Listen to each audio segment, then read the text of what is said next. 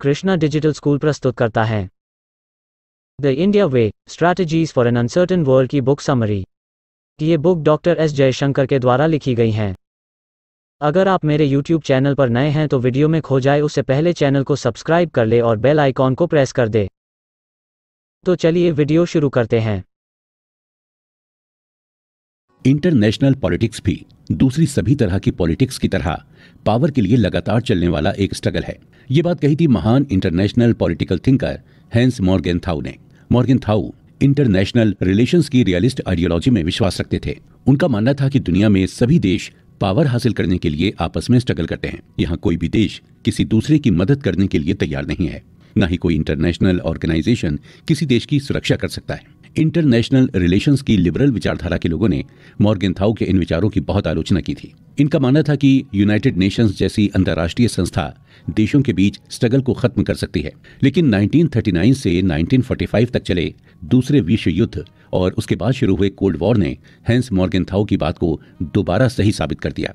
कि लगभग सभी देश आपस में लड़ाई के लिए हमेशा तैयार रहते हैं। मुख्य रूप से अमेरिका और रूस के बीच साल 1947 से 1991 तक चले कोल्ड वॉर के बाद हालात थोड़े बदले और आपस में लड़ने की बजाय सभी देश साथ मिलकर एनवायरमेंट को बचाने और न्यूक्लियर हथियारों को खत्म करने के लिए काम करने लगे। इस दौर में ऐसा लगा जैसे रियलिस्ट विचारधारा के प्रिंसिपल्स बेकार होने लगे लेकिन बीते कुछ सालों में दुनिया में चीन का एक बड़ी शक्ति, एक बड़ी महाशक्ति के रूप में उभर कर आना और रूस का यूरोप के देशों पर हमला करना यह दिखाता है कि आज भी लड़ाइयाँ पूरी तरह से बंद नहीं हुई हैं। आज अमेरिका एक डूबती हुई शक्ति के रूप में नज़र आ रहा है और भारत के पड़ोस में चीन एक महाशक्ति बन रहा है। ऐसे में चीन भारत के लिए सुरक्षा के नज़रिए से एक गंभीर खतरा भी है। फ़िलहाल बदलती हुई इस दुनिया में भारत को अपनी विदेश नीति को बहुत सीरियस होकर तय करने की ज़रूरत है। भारत को यह फैसला करना होगा कि दुनिया में शक्ति के इस बदलते हुए संतुलन को हमें किस तरह से अपने फ़ायदे के लिए इस्तेमाल करना है। और इसी बीच भारत के विदेश मंत्री सुब्रमण्यम जयशंकर ने द इंडिया वे नाम की एक कमाल की किताब लिखी है, जिसमें उन्होंने डिटेल में बताया है कि आने वाले समय में भारत अपनी विदेश नीति को किस तरह चलाने वाला है। द इंडिया वे किताब में पुराने लिबरल प्रिंसिपल्स की बजाय एस जयशंकर ने रियलिज्म का रुख किया है, जहाँ वो मानते हैं कि सभी देशों का अपना एक नेशनल इंटरेस्ट है। और उसे पूरा करने के लिए सभी देश आपस में स्ट्रगल करते हैं। एस जयशंकर भारतीय विदेश मंत्री बनने से पहले भारत की ओर से दूसरे देशों में डिप्लोमेट भी रहे हैं। इसलिए उन्होंने पिछले 40 सालों में भारत की विदेश नीति को गहराई से देखा और समझा है अपने कार्यकाल के दौरान वो Moscow, Washington, Singapore, Prague, Budapest, Sri Lanka, Japan और चीन में बहुत सारा वक्त गुजार चुके हैं और अपने इन सभी अनुभवों की वजह से ही उनके पास भारत की फॉरेन पॉलिसी के लिए अपना एक अलग नज़रिया है। मॉस्को में रहने के दौरान एस जयशंकर ने रूस की ग्रेट पावर पॉलिटिक्स को भी बहुत करीब से देखा है और दूसरी तरफ़ ईस्टर्न देश जापान में उन्होंने ईस्ट एशिया की राजनीति को भी समझने की कोशिश की है। जहाँ एक और यूरोप के प्राग और बुडापेस्ट ने उन्हें इतिहास की सेंसिटिविटी से रूबरू करवाया तो श्रीलंका में उन्होंने मिलिट्री और पॉलिटिक्स को एक साथ काम करते देखा। इसके बाद साल 2009 में वो चीन पहुँचे। वो भी उस दौर में जब दुनिया में भारी इकोनॉमिक मंदी आ चुकी थी। चीन में रहकर एस जयशंकर साल 2009 के बाद बदलती दुनिया के भी गवाह बने थे। वहीं साल 2009 की आर्थिक मंदी से लेकर साल 2020 की कोविड महामारी तक दुनिया की राजनीति को समझते हुए भारत के लिए उसमें क्या पॉसिबिलिटीज हैं? उसका ब्यौरा देने की कोशिश एस जयशंकर ने इस किताब में की है। ये किताब न केवल आपको भारतीय राजनीति को समझने में मदद करेगी, बल्कि आने वाले समय में भारत दुनिया में क्या रोल निभाने वाला है, इसकी भी झलक दिखाएगी। अवध का लेसिश और पानीपत सिंड्रोम। हम लेखक एस जयशंकर भारत की फॉरेन पॉलिसी को समझाने की शुरुआत करते हुए बंगाली भाषा के फ़िल्म डायरेक्टर सत्यजीत रे की एक फ़िल्म का उदाहरण देते हैं। इसके उदाहरण से ही हम फॉरेन पॉलिसी के मामले में भारत की कमजोरियों को समझ सकते हैं। और हमारे लिए आगे का रास्ता और साफ़ हो जाता है। होता यूँ है कि उस फ़िल्म में दो नवाब शतरंज का खेल खेलते हैं और उनके खेल के दौरान ब्रिटिश ईस्ट इंडिया कंपनी उनके राज्य अवध पर कब्जा कर रही होती है। नवाबों को इस बात की भनक भी नहीं होती कि दुनिया की बहुत बड़ी शक्ति उनके राज्य तक पहुँच गई, क्योंकि वो तो अपने खेल में ही मस्त थे। आज चीन नाम की एक वैसे ही बड़ी शक्ति भारत के बगल में अपना डेरा डाल रही है। अवध के नवाबों की तरह ऐसे खतरे को नजरअंदाज करने की गलती आज का भारत नहीं कर सकता। आज बदलती दुनिया में अपनी जगह खोज रहे भारत के लिए यह ज़रूरी है कि वो चीन के इस उदय या डेवलपमेंट को देखकर उससे इंस्पिरेशन ले। लेकिन उसके साथ ही इस घटना से वर्ल्ड पॉलिटिक्स में पड़ने वाले प्रभाव और भारत पर होने वाले इसके असर पर चर्चा भी होनी चाहिए। आज दुनिया के कई देश नेशनलिज्म की राह पर आगे बढ़ रहे हैं। यानी अब कई देश अपने बारे में सोचने के अलावा किसी और देश या पूरी दुनिया की फ़िक्र नहीं करते। और इसी वजह से दुनिया में ग्लोबलाइजेशन का प्रभाव भी घट रहा है। और ज़्यादा से ज़्यादा देश अपने को दूसरे देशों के लिए खोलने से इनकार कर रहे हैं। और यह भी एक वजह है कि दुनिया के कई देश आज ग्लोबलाइजेशन को नकार रहे हैं। वहीं इसका सबसे बड़ा और अहम असर हम अमेरिका पर देख सकते हैं, जो बीते कई सालों में एक बड़ी ग्लोबल पावर बनकर दुनिया भर में अपनी बात मनवा रहा था। लेकिन आज चीन के उदय से उसका प्रभाव भी फीका पड़ता नज़र आ रहा है। मगर भारत में इन बदलावों को लेकर सही ढंग से चर्चा न होने की वजह से हम इन्हें समझ नहीं पाते। और इन परिस्थितियों से फ़ायदा उठाने का मौका गंवा देते हैं। आज जब भारत वर्ल्ड ऑर्डर में एक ज़रूरी देश बनकर उभर रहा है तो हमारे लिए यह भी ज़रूरी है कि हम इन बदलावों को समझें और उनसे कुछ बातें सीखें। अंतर्राष्ट्रीय मुद्दों पर हमारे आँख बंद कर लेने से असलियत में कुछ नहीं बदलता, बल्कि उनका जो प्रभाव होना होता है, वो तो होकर ही रहता है। इसलिए ये घटनाएँ भविष्य में हमारे देश को प्रभावित करें, उससे पहले उन्हें समझकर उन पर काम करना बेहतर होता है। वरना भारत के इतिहास में तो पानीपत सिंड्रोम का रिकॉर्ड रहा है। अब पानीपत सिंड्रोम, पानीपत की लड़ाई से निकला एक शब्द है, जब विदेशी हमलावर लड़ाइयाँ लड़ते हुए भारत के बीचों बीच पहुँच गए और भारत के लोगों को उसकी खबर तक नहीं थी। इसलिए भारत की फॉरेन पॉलिसी में लापरवाही को पानीपत सिंड्रोम नाम दिया जाता है। ये सिंड्रोम बताता है कि भारत में ग्लोबल पॉलिटिक्स में हो रहे बदलावों को समझने की बहुत कम कोशिश की जाती है। और साथ ही उनका हम पर क्या प्रभाव पड़ने वाला है, इसके बारे में भी बहुत कम सोचा जाता है। बीते सौ सालों के इतिहास में दुनिया जहाँ लगातार बदल रही थी, वहीं भारत उन बदलावों को समझने में हमेशा नाकाम रहा। साल 1971 की बांग्लादेश की जंग हो, साल उन्नीस सौ इक्यानवे के आर्थिक सुधार हों, या साल उन्नीस सौ अट्ठानवे के परमाणु परीक्षण, ये कुछ ऐसे फैसले थे जिनसे हमने इतिहास में हुई कुछ भूलों को सुधारने की कोशिश की थी।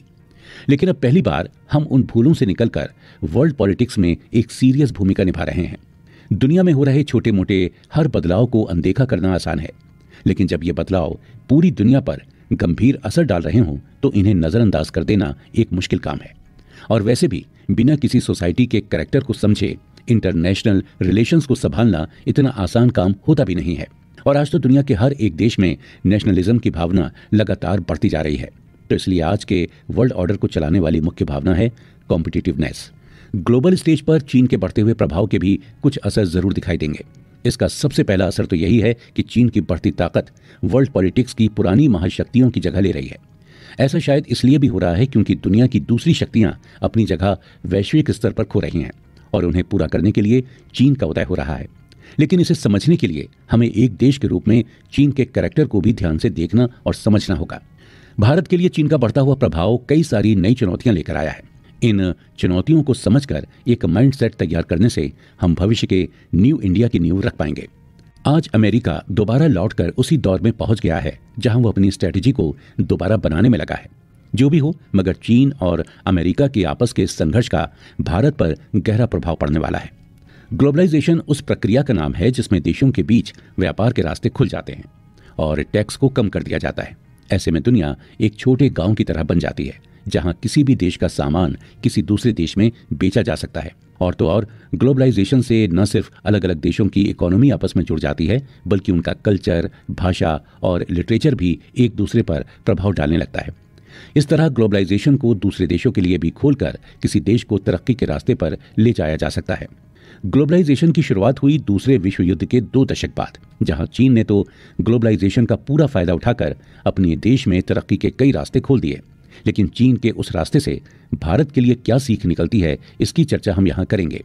आज हम जैसी दुनिया में जी रहे हैं, वहाँ एक अलग तरीके की पॉलिटिक्स खेली जा रही है। आज हमारे सामने सवाल ये नहीं रहा कि हम ग्रोथ करेंगे या नहीं, बल्कि सवाल ये है कि हम इस बदलती हुई दुनिया में अपने आप को कहाँ रख पाएँगे। आज़ादी के बाद भारत एक ऐसी स्थिति में था जहाँ दुनिया में दो बड़ी महाशक्तियाँ थीं, एक यूनाइटेड स्टेट्स ऑफ़ अमेरिका और दूसरा सोवियत यूनियन उस दौरान भारत ने दोनों ही महाशक्तियों से दूरी बनाकर रखी। फिर धीरे धीरे वो सोवियत यूनियन की ओर झुकता गया। लेकिन उन्नीस सौ इक्यानवे में सोवियत यूनियन हमेशा के लिए खत्म हो गया। तब भारत की विदेश नीति अमेरिका की ओर झुकने लगी, जिसकी एक झलक हमने 2005 की भारत अमेरिका न्यूक्लियर डील में भी देखी। आज तो दुनिया में अमेरिका भी अकेली शक्ति नहीं रह गया है। दुनिया के कई हिस्सों में अलग अलग देश छोटी छोटी शक्ति बनकर उभर रहे हैं। ऐसे में भारत के लिए एक मिला जुला अप्रोच तैयार करके इन सभी देशों से अच्छे संबंध बनाना बेहद ज़रूरी हो गया है। इन उभरते हुए देशों में खुद भारत का भी एक नाम है। और भारत के ग्लोबलाइजेशन में उतरने से पहले चीन उसी रास्ते से गुजर चुका था।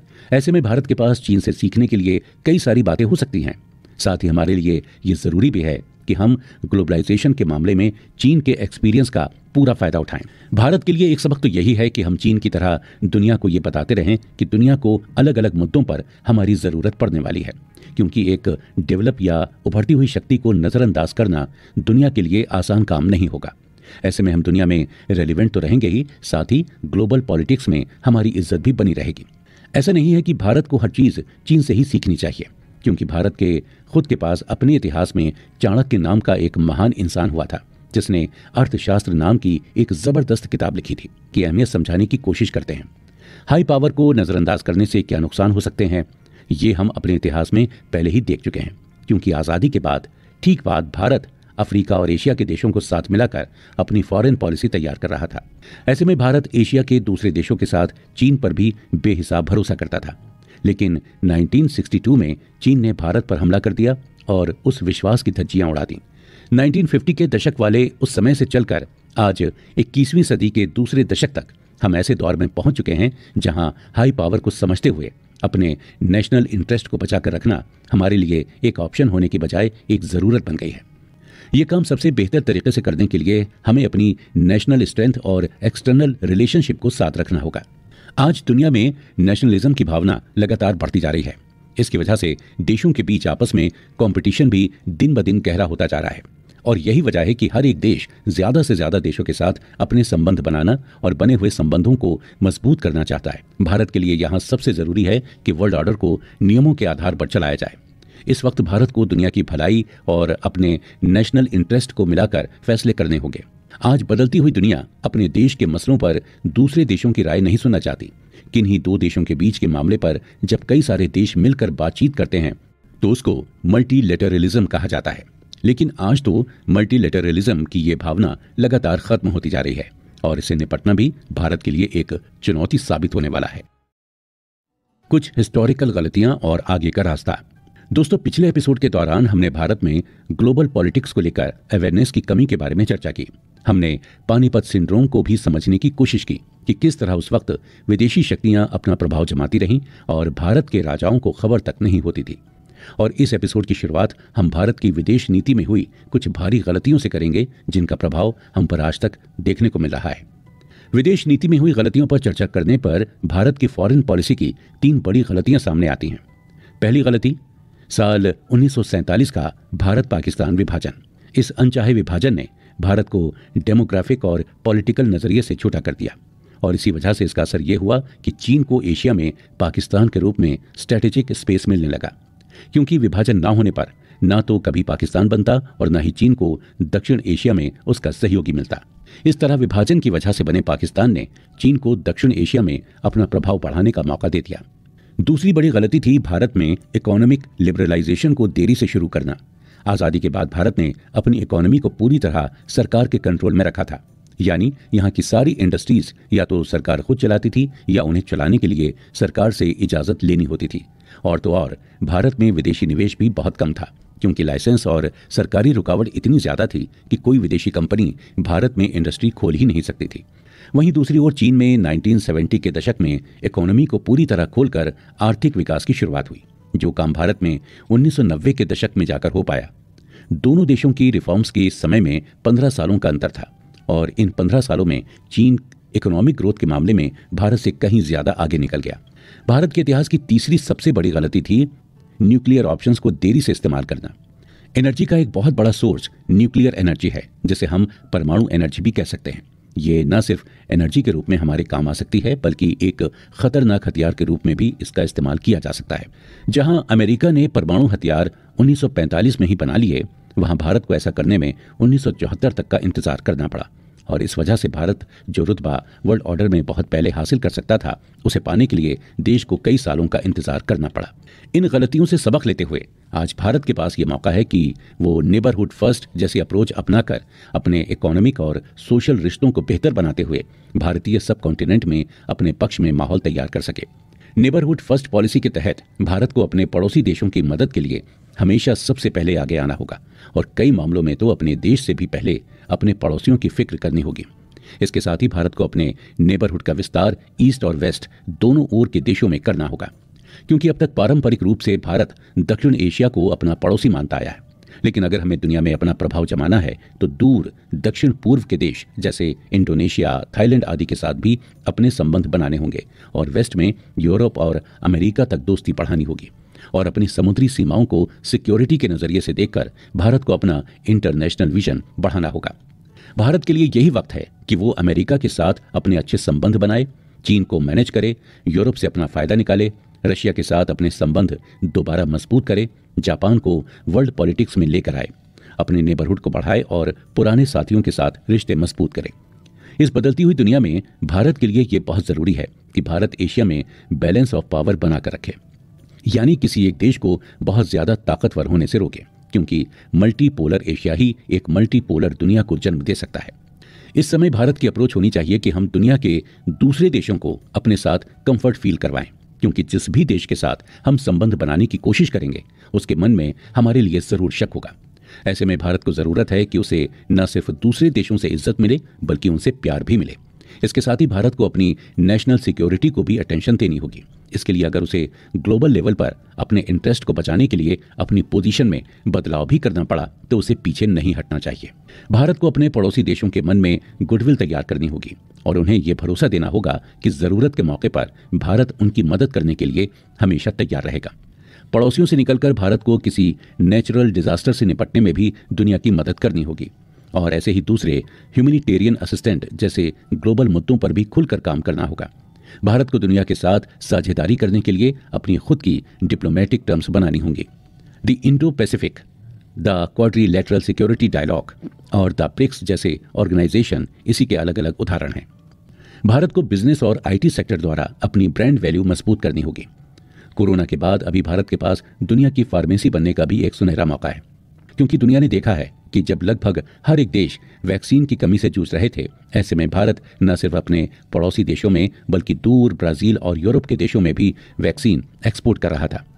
यह सच है कि किसी भी देश की मिलिट्री और उसके हथियार उसकी हार्ड पावर का निर्माण करते हैं। वहीं किसी देश की संस्कृति, उसके रीति रिवाज और वहाँ के खान पान संगीत, सिनेमा आदि का दुनिया पर जो प्रभाव पड़ता है, उससे देश की सॉफ्ट पावर का निर्माण होता है। आज के समय में कोरियन कल्चर के दुनिया भर में बढ़ते प्रभाव की वजह से दक्षिण कोरिया की सॉफ्ट पावर लगातार बढ़ती जा रही है और इस वजह से कोरियन ड्रामे से लेकर कोरियन पॉप म्यूज़िक और सिनेमा, वेब सीरीज़ आदि भी दुनिया भर में खूब देखी जा रही हैं। किसी देश की संस्कृति के ऐसे प्रभाव को उसकी सॉफ्ट पावर कहते हैं। अपनी ब्रांड वैल्यू बढ़ाने के लिए भारत को भी अपनी संस्कृति को दुनिया में मेन स्ट्रीम में लाना होगा। इसका सबसे अच्छा उदाहरण है इंटरनेशनल डे ऑफ़ योगा और आयुर्वेद का प्रचार। यहाँ तक कि भारत जब ग्लोबल प्लेटफॉर्म पर हिंदी में अपनी बात रखता है, तब भी यह दुनिया के लिए एक संदेश होता है कि भारत अब दुनिया के हर बड़े छोटे देश के साथ बराबरी चाहता है। भारत के पॉलिसी मेकर्स को अपनी विदेश नीति में रियलिस्ट अप्रोच को अपनाना होगा, यानी भारत को यह समझना होगा कि दुनिया के देश लगातार एक दूसरे के साथ संघर्ष करते रहते हैं और भारत भी इनसे बच नहीं सकता। दुनिया में बढ़ते नेशनलिज्म की वजह से ज़्यादातर देश इन्हीं देशों के साथ पार्टनरशिप करते हैं जिनसे उन्हें कोई फ़ायदा हो सकता है। ऐसे में भारत के पास भी कोई दूसरा ऑप्शन नहीं बचता।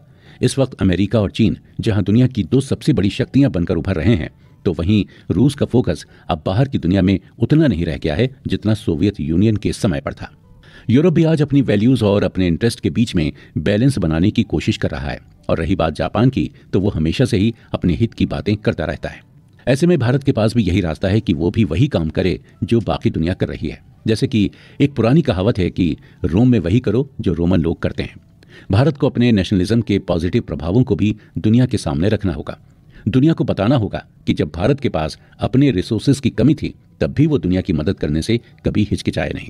दुनिया के साथ भारत का जो संबंध बनेगा, उसे सिर्फ़ इस नज़रिए से नहीं देखना चाहिए कि भारत अपने इंटरेस्ट पूरे कर रहा है, बल्कि सबका साथ, सबका विकास, सबका विश्वास की जो अप्रोच भारत की डोमेस्टिक पॉलिटिक्स में इस्तेमाल की जा रही है। वही फॉरेन पॉलिसी में भी इस्तेमाल की जानी चाहिए। ये बात भी साफ़ होनी चाहिए कि भारत के साथ साझेदारी से न सिर्फ़ भारत को फ़ायदा होगा, बल्कि इंटरनेशनल कम्युनिटी को भी अपने सस्टेनेबल डेवलपमेंट गोल्स पूरे करने के लिए भारत की ज़रूरत होगी। भारत आज बड़ी इकोनॉमी है।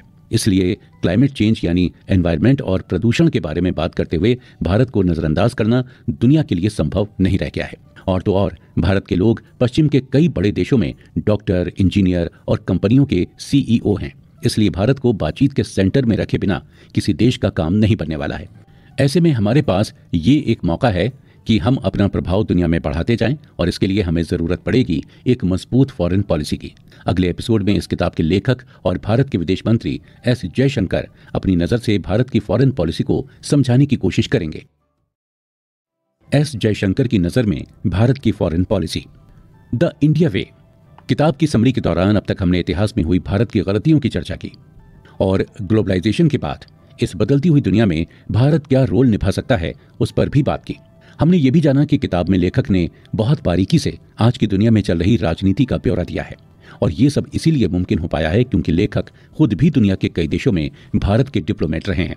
दोस्तों, अब किताब पर चर्चा करते हुए इस एपिसोड में हम लेखक के डिप्लोमेटिक जीवन के अनुभव के बारे में बात करेंगे और जानेंगे कि उन अनुभवों के आधार पर लेखक और भारत के विदेश मंत्री एस जयशंकर ने भारत के लिए क्या उपाय सुझाए हैं, जिनसे हम एक न्यू इंडिया का निर्माण कर पाए। लेखक एस जयशंकर लिखते हैं कि एक भारतीय डिप्लोमेट होने के नाते उन्होंने दुनिया को बहुत करीब से बदलते हुए देखा है। उनकी जनरेशन और उनसे पहले की जनरेशन को अमेरिका, चीन और पाकिस्तान के साथ बहुत खराब अनुभवों से गुजरना पड़ा था। 1970 के दशक तक ये तीनों देश भारत के ग्लोबल इंटरेस्ट के लिए खतरा साबित हो रहे थे। एस जयशंकर अपनी इस बुक में आगे ये भी बताते हैं कि अपनी डिप्लोमेटिक ज़िंदगी के पहले भाग में उन्होंने कोल्ड वॉर और पॉलिटिकल इस्लाम का उदय देखा था और इसी से आगे चलकर सोवियत यूनियन बिखर गया, जिसका प्रभाव भारत पर लंबे समय तक पड़ता रहा। वहीं अपनी डिप्लोमेटिक करियर के दूसरे भाग में एस जयशंकर ने अपने देश को और भी ज़्यादा बदलते हुए देखा। जहाँ भारत ने अमेरिका के साथ अपने संबंधों को पहले के मुकाबले बहुत मज़बूत बना लिया और ईस्ट में अपने आप को एक उभरती हुई शक्ति के रूप में स्थापित किया। लेखक का ऐसा मानना है कि सिर्फ़ दुनिया नहीं बदल रही है, बल्कि भारत के लोगों की कैपेबिलिटी उनके सपने और उनकी प्रायोरिटी में भी लगातार बदलाव आ रहा है। कोल्ड वॉर के खत्म होने के बाद दुनिया में कई सारी शक्तियों का उदय होना शुरू हुआ था। जबकि इससे पहले दुनिया में सिर्फ़ सोवियत यूनियन और यूनाइटेड स्टेट्स ऑफ़ अमेरिका नाम की दो ही महाशक्तियाँ थीं। सोवियत यूनियन, कम्युनिस्ट रूस, पूर्वी यूरोप और मध्य एशिया के उसके साथी देशों से मिलकर बनी हुई एक यूनियन थी, जो साल उन्नीस सौ इक्यानवे में रूस के ये साथ ही सोवियत यूनियन से अलग हो गए और यूनियन बिखर गई। उस वक्त जब यूनियन बिखरा तो थोड़े समय के लिए दुनिया की इकलौती महाशक्ति अमेरिका ही था। लेकिन उसके बाद दुनिया के अलग अलग कोनों में कई शक्तियों का उदय होने लगा। इस बदले हुए दौर में भारत ने भी कई सारी शक्तियों के साथ समझौता करने की नीति अपनाई। जहाँ एक और भारत ने अमेरिका के साथ साल 2005 में न्यूक्लियर डील साइन की तो वहीं चीन के साथ भी व्यापार में लगा रहा। इससे भी आगे आज यहाँ भारत क्वाड्रीलेटरल सिक्योरिटी डायलॉग में भाग लेकर जापान और अमेरिका के साथ खड़ा है। तो वहीं शंघाई कॉपरेशन ऑर्गेनाइजेशन की मेंबरशिप के साथ रूस और चाइना के साथ भी स्टेज शेयर कर रहा है। वर्ल्ड पावर के अलावा भारत के पड़ोसी देशों के बारे में भी चर्चा करना बहुत ज़रूरी है। अपने पड़ोसी देशों के साथ रिश्तों को लेकर भी भारत हमेशा मुसीबतों में फंसता जाता है। एक और जहाँ पाकिस्तान को भारत दोस्ती का हाथ देता है तो वहीं इसके बदले में भारत को हमेशा आतंकी हमलों से जवाब दिया जाता है। इसके साथ साथ दूसरी ओर अफ़गानिस्तान में चल रही समस्याएँ भी भारत की सिक्योरिटी के लिए खतरे का काम कर रही हैं। अब चाहे अफ़गानिस्तान की इस हालत का दोष हम ब्रिटेन, अमेरिका और रशिया जैसी इंपीरियल ताकतों को दें, या खुद अफ़गानिस्तान के मिस जजमेंट को। जयशंकर लिखते हैं कि इन सारी प्रॉब्लम्स के बाद भी भारत को इन सब में संतुलन साधना होगा। और फॉरेन अफेयर्स का यही उसूल है कि कई बार किसी देश को अपने कई सारी प्रायोरिटीज को एक साथ लेकर चलना पड़ता है, जबकि उनमें आपस में विरोध भी हो सकता है। देशों को अपने इंटरेस्ट के लिए फैसला लेना ही पड़ता है। सिर्फ़ बहस करने से बात नहीं बन पाती है। और जब फैसला लिया जाता है तो एक समय उसकी कीमत भी चुकानी होती है। ग्लोबल पावर पॉलिटिक्स में अपनी भागीदारी देखना भारत की बढ़ती हुई ताकत का सिर्फ़ एक एलिमेंट है। इसके अलावा भी ग्लोबल ऑर्डर में आने वाले समय में भारत को कई बड़ी भूमिकाएँ निभानी होंगी। बदलती हुई दुनिया में अमेरिका। लेखक की नज़र में ग्लोबल पॉलिटिक्स की दुनिया में सबसे ज़रूरी है सही टाइम पर सही फैसले लिए जाना। और ऐसा न करने पर किसी देश की हालत वही हो सकती है, जो बदलते हुए दौर में अमेरिका की हुई। आज दुनिया में इतनी सारी शक्तियाँ उभर कर आ गई हैं कि अमेरिका का प्रभाव लगातार घटता जा रहा है। वहीं दूसरी ओर, सही समय पर सही फैसले लेने की बदौलत चीन अमेरिका के मुकाबले की बड़ी शक्ति बनकर दुनिया के सामने आ गया है। लेकिन अमेरिका के साथ ऐसा क्या हुआ? कि ग्लोबलाइजेशन के बाद वर्ल्ड पॉलिटिक्स में उसका रोल धीरे धीरे बदलने लगा। इस एपिसोड में हम इसी सवाल का जवाब ढूंढेंगे। सन 2016 में अमेरिका में राष्ट्रपति पद के लिए चुनाव हुए और डोनाल्ड ट्रंप अमेरिका के राष्ट्रपति चुन लिए गए। ठीक इसी दौरान ईस्ट में चीन अपनी शक्ति लगातार बढ़ाता जा रहा था। उसकी इकोनॉमी दुनिया में सबको पीछे रखकर अब अमेरिका के बराबर आने को तैयार थी। और उसकी सैन्य ताकत के मामले में अमेरिका से तो पीछे थी, मगर टेक्नोलॉजी के मामले में वो अभी से अमेरिका को टक्कर देने लगा था। ये ऐसे हालात थे जैसे दूसरे वर्ल्ड वॉर के बाद सोवियत यूनियन और अमेरिका के बीच हो गए थे। लेकिन ऐसा नहीं है कि हमेशा दो शक्तियों को आपस में लड़ते ही रहना होता है। 19वीं सदी के दौरान दुनिया ने देखा कि ब्रिटेन और अमेरिका दुनिया की दो बड़ी शक्तियाँ थीं, लेकिन दोनों आपस में मिलजुल कर काम किया करती थीं। अमेरिका और चीन को भी ऐसी ही किसी नीति पर चलना होगा, अगर वो इस संघर्ष को टालना चाहते हैं। इसके साथ ही दुनिया में एक और बड़ी घटना घट रही है। आज ग्लोबलाइजेशन की वजह से दुनिया भर के देशों में नेशनलिस्ट कैंडिडेट्स संसद में अपनी जगह बना पा रहे हैं। अमेरिका में भी इस तरह के पॉलिटिकल बदलाव पहले कभी नहीं आए थे। और इसके पीछे एक बड़ा कारण ग्लोबल सप्लाई चेन और टेक्नोलॉजी का असर भी है, क्योंकि जो देश टेक्नोलॉजी पर ज़्यादा से ज़्यादा ध्यान देगा, वही दुनिया को प्रभावित करता रहेगा। और दुनिया की बड़ी ताकतों ने ये बात समझ ली है। मगर अमेरिका और चीन जैसे बड़े देशों के बीच व्यापार को लेकर जो डिस्प्यूट यानी मतभेद हैं, उनके बढ़ते रहने पर अमेरिका धीरे धीरे अपनी इंडस्ट्रियल पॉलिसी को अपने नेशनल इंटरेस्ट के लिए बदल सकता है। फ़िलहाल दुनिया में जितने भी विवाद आज खड़े हो रहे हैं, वो देशों के बीच रिलेशनशिप पॉलिटिक्स सोसाइटी बिज़नेस धर्म और मार्केट से जुड़े मामलों की वजह से हो रहे हैं। इन्हीं वजहों से चीन और अमेरिका के बीच बढ़ते हुए टकराव के क्या नतीजे निकलेंगे, इसके बारे में कुछ भी कहना अभी मुमकिन नहीं है। लेकिन हाँ इतना कहा जा सकता है कि दोनों देशों के टकराव में सबसे ज़रूरी रोल होगा टेक्नोलॉजी का। इन बिगड़ते हुए हालात में भारत अपने लक्ष्य को पूरा करने के लिए क्या कर सकता है? तो इस सवाल का जवाब आज वर्ल्ड पॉलिटिक्स के दो सबसे बड़े प्लेयर्स पर डिपेंड करता है। और ये दो प्लेयर्स हैं अमेरिका और चीन। हालाँकि ये पहली बार नहीं है कि जब भारत किन्हीं दो बड़ी शक्तियों के बीच फंसा हुआ हो। इससे पहले भी कोल्ड वॉर के दौरान भारत, अमेरिका और सोवियत यूनियन के बीच अपनी पॉलिसी मेकिंग की आज़ादी बचाने की कोशिश कर रहा था। साल उन्नीस सौ बासठ की चीन से लड़ाई के बाद भारत का झुकाव अमेरिका की तरफ़ बढ़ता गया, क्योंकि इन महाशक्तियों की हमसे दूर रहने की उसकी नॉन अलाइनमेंट की नीति लड़ाई की स्थिति में काम नहीं आई। फिर साल 1971 में अमेरिका, चीन और पाकिस्तान जब एक तरफ़ हो गए तो भारत सोवियत यूनियन की ओर खिसक गया। लेकिन जो भी हो, मुसीबत के वक्त भारत को हमेशा ही बीच का रास्ता चुनना पड़ा है। लेकिन साल 2005 की भारत अमेरिका न्यूक्लियर डील के बाद, अब यह संभव नहीं रह गया कि भारत पूरी तरह से बीच का रास्ता अपना ले। न्यूक्लियर डील ने भारत को अमेरिका का एक बड़ा सहयोगी देश बना दिया है। भारत को अब अमेरिका की नज़र में वो जगह मिली है, जो आज़ादी के बाद उसे कभी नहीं मिली थी।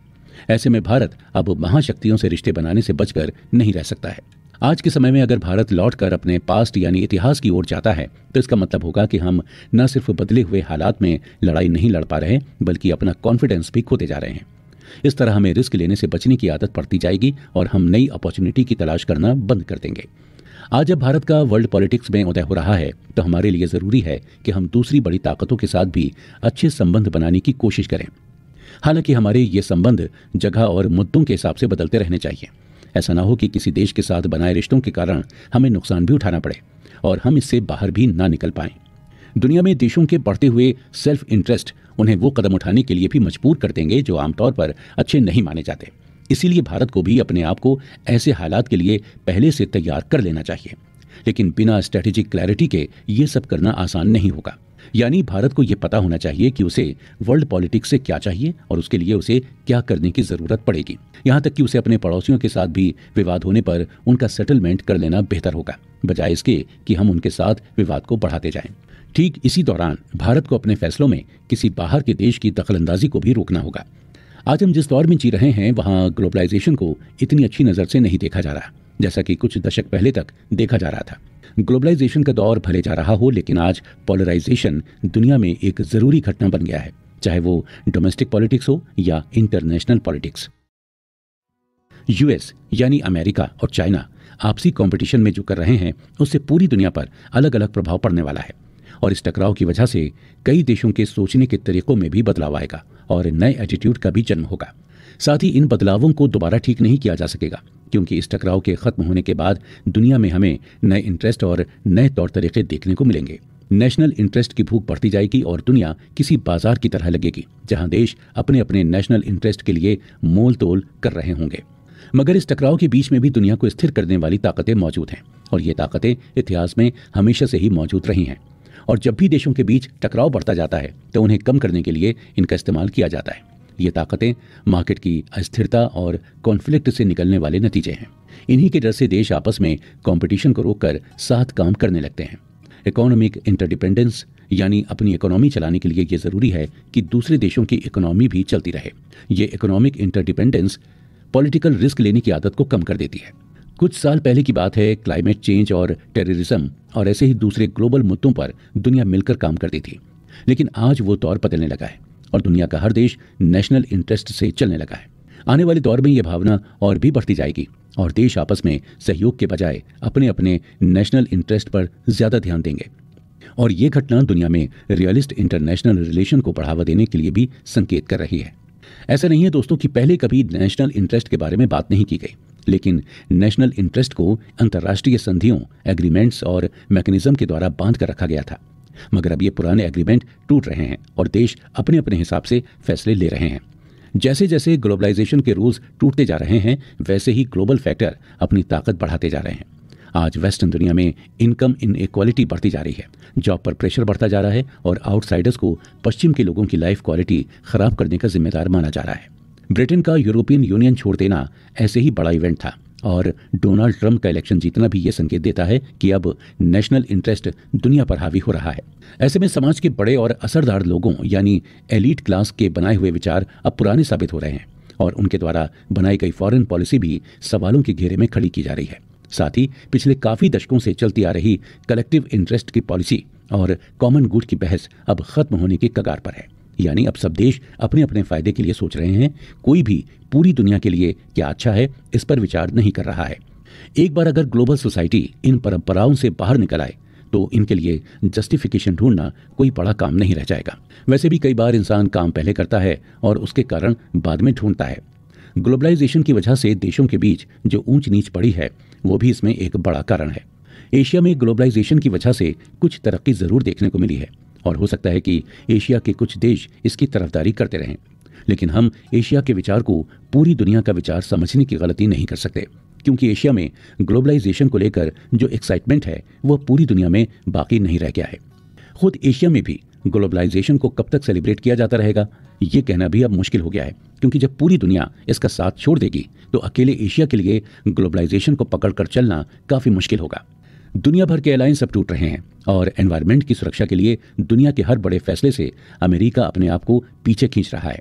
हमने ये भी देखा है कि बीते समय में अफ़गानिस्तान से भी अमेरिका बाहर निकलने की कोशिश में लगा था और अपने यूरोपियन साथियों को भी मदद देने से हिचकिचा रहा है।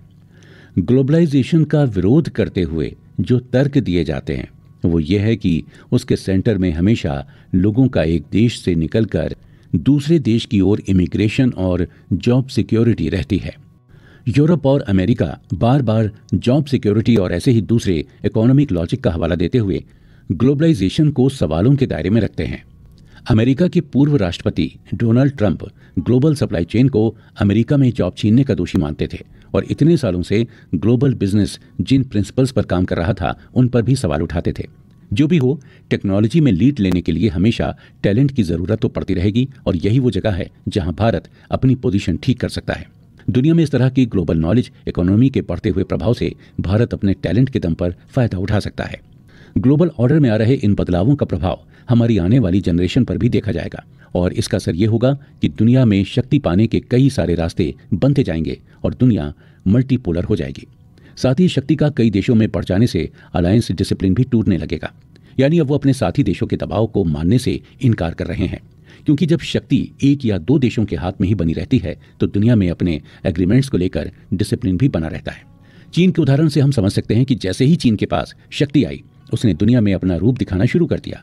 और कई पुराने एग्रीमेंट्स और अंतर्राष्ट्रीय समझौतों को मानने से इनकार कर दिया। फ़िलहाल इस बदलती हुई दुनिया में भारत के पास कई सारी अपॉर्चुनिटीज़ हैं, जिनसे फ़ायदा उठाकर वो एक बड़ा पावर बन सकता है। अमेरिका जैसी बड़ी शक्ति पिछले दो दशकों से भारत के साथ मिलकर काम कर रही है और रूस हमेशा से ही भारत का एक जियो पार्टनर बना हुआ है। साथ साथ ब्रिटेन के यूरोपियन यूनियन छोड़ने के बाद यूरोप के कई देश अब भारत के साथ अपने संबंध मज़बूत करने में लगे हुए हैं। क्योंकि उन्हें लगता है कि एशिया में बैलेंस बनाए रखने के लिए भारत का विकास करना बहुत ज़रूरी है। इस बदलते हुए माहौल में भारत को न सिर्फ़ चीन जैसे देशों के उदाहरण से सीखने की ज़रूरत है, बल्कि भारत को अपने इतिहास और संस्कृति से भी कई बातें सीखनी पड़ेंगी, जिनकी चर्चा हम अगले एपिसोड में करेंगे। महाभारत की शिक्षा। इस किताब पर चर्चा करते हुए पिछले एपिसोड में हमने बदलती हुई दुनिया में अमेरिका के रोल के बारे में चर्चा की, और हमने जाना कि कैसे चीन एक उभरती हुई शक्ति बन रहा है। और उसके सामने खड़ा अमेरिका अब ग्लोबलाइजेशन से अपने पाँव पीछे खींचता हुआ एक नेशनली सिक्योर इकोनॉमी बनने की कोशिश कर रहा है।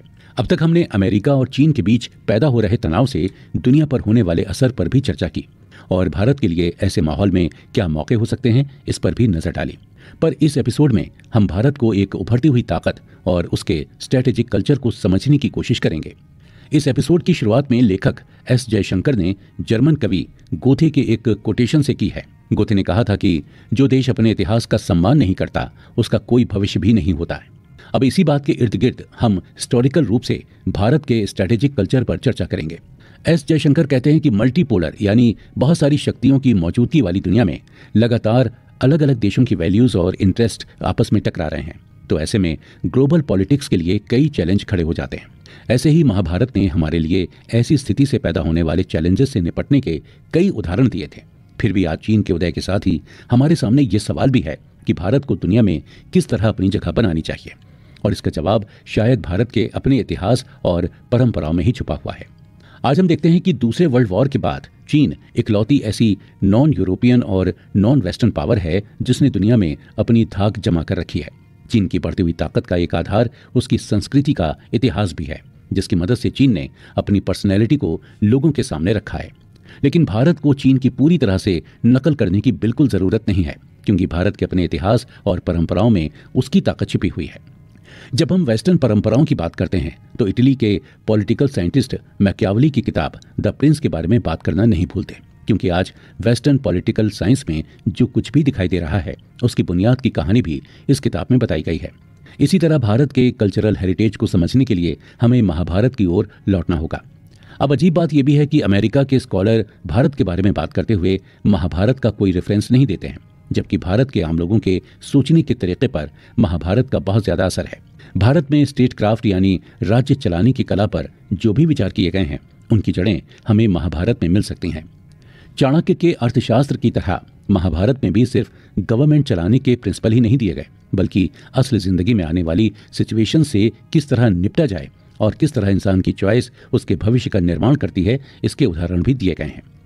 ड्यूटी और ऑब्लिगेशन की बात करते हुए भी ये किताब इंसान की अंदरूनी कमजोरियों पर भी नज़र डालती है। यहाँ स्टेट क्राफ्ट में आने वाली समस्याएँ रिस्क और सेक्रीफाइस जैसे मुद्दों पर भी गहराई से बात करती हैं। इसी किताब में एक भाग वो भी है जिसकी पॉलिसी को इम्प्लीमेंट करना बहुत बहादुरी का काम हो सकता है।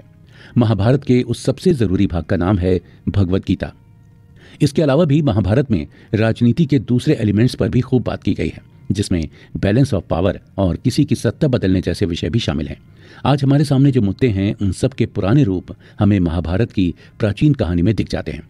खासकर बायोलेट्रल मुद्दों पर बाहरी ताकतों के प्रभाव को समझने के लिए महाभारत बहुत अहम किताब साबित हो सकती है। महाभारत एक कंपटीशन के कॉन्फ्लिक्ट में बदलने की कहानी है, क्योंकि बचपन से पांडवों और कौरवों के बीच जो कंपटीशन था, उसी की वजह से आगे चलकर इन भाइयों के बीच लड़ाई हुई। और आज जो ग्लोबल पॉलिटिकल सिचुएशन है, वो भी ऐसी ही कॉन्फ्लिक्ट और कंपटीशन से जूझ रही है। महाभारत की तरह आज भी सही डिसीज़न मेकिंग बहुत ज़रूरी हो चुकी है। महाभारत में भारत की स्थिति मल्टीपोलर है, जहाँ भारत में कई सारी ताकतें एक दूसरे को बैलेंस करने में लगी हुई हैं। लेकिन जैसे ही महाभारत की दो बड़ी ताकतें आपस में लड़ने लगती हैं तो बाकी की ताकतों को भी दोनों में से किसी एक की साइड लेनी पड़ती है। और यही आज की इंटरनेशनल पॉलिटिक्स की भी हकीकत है। महाभारत में एक बहुत दिलचस्प किरदार श्री कृष्ण का भी है, जो पांडवों के पक्ष को स्ट्रेटेजिक गाइडेंस देते हैं। महाभारत में आने वाली भगवत गीता की मेन थीम है कि अर्जुन अपने फैसलों से होने वाले असर और नतीजों से डरकर कोई फैसला लेने से घबरा जाता है। ऐसे में श्री कृष्ण अर्जुन को उसकी ड्यूटी यानी कर्तव्य समझाते हैं। महाभारत में अर्जुन का बिहेवियर या व्यवहार आज के स्टेट प्लेयर्स के बिहेवियर से एकदम मैच करता है। मगर अपने मन के भ्रम से निकलकर अर्जुन आखिरकार एक योद्धा की तरह लड़ाई में उतर जाता है। ठीक वैसे ही अपने सम्मान और अधिकारों की रक्षा के लिए किसी स्टेट को भी खुलकर संघर्ष करना होता है। जिस तरह अर्जुन ने अपने धर्म का पालन किया था, उसी तरह स्टेट को भी अपने लोगों की रक्षा के धर्म का पालन पूरी तरह रियलिस्ट होकर करना चाहिए। हम अक्सर ऐसा सुनते हैं कि भारत को टेररिज्म और पाकिस्तान से हमेशा लड़ते हुए ही रहना होगा, और भारत के सामने आज जो समस्याएँ हैं, उनसे छुटकारा पाना मुमकिन नहीं है।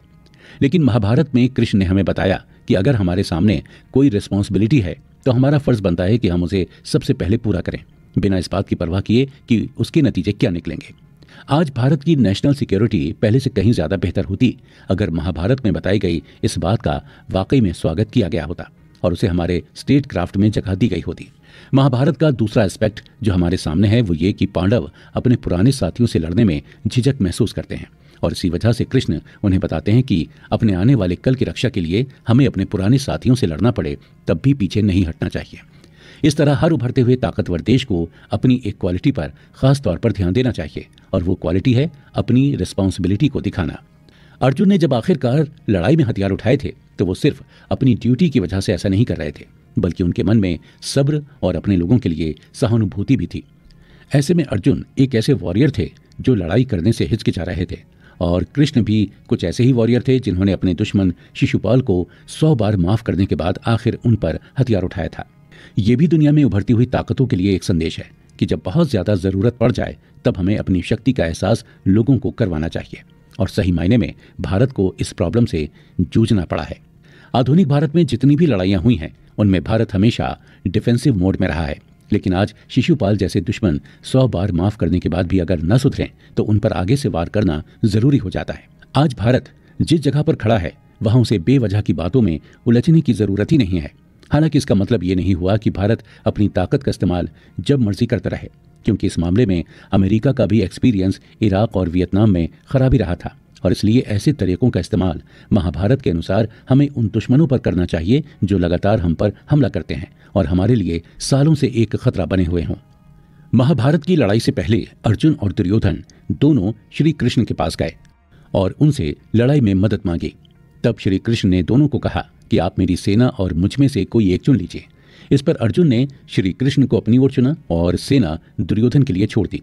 इस बात से भी आज हमारे लिए ये सीखने वाली चीज़ है कि पुराने पारंपरिक तरीकों को छोड़कर हमें आउट ऑफ़ दी बॉक्स सोचने की ज़रूरत है। महाभारत के दौरान अर्जुन ने कृष्ण की कैपेबिलिटी को समझा और सेना के बजाय उनको ही चुन लिया, जबकि दुर्योधन श्री कृष्ण की अहमियत को समझ नहीं पाया।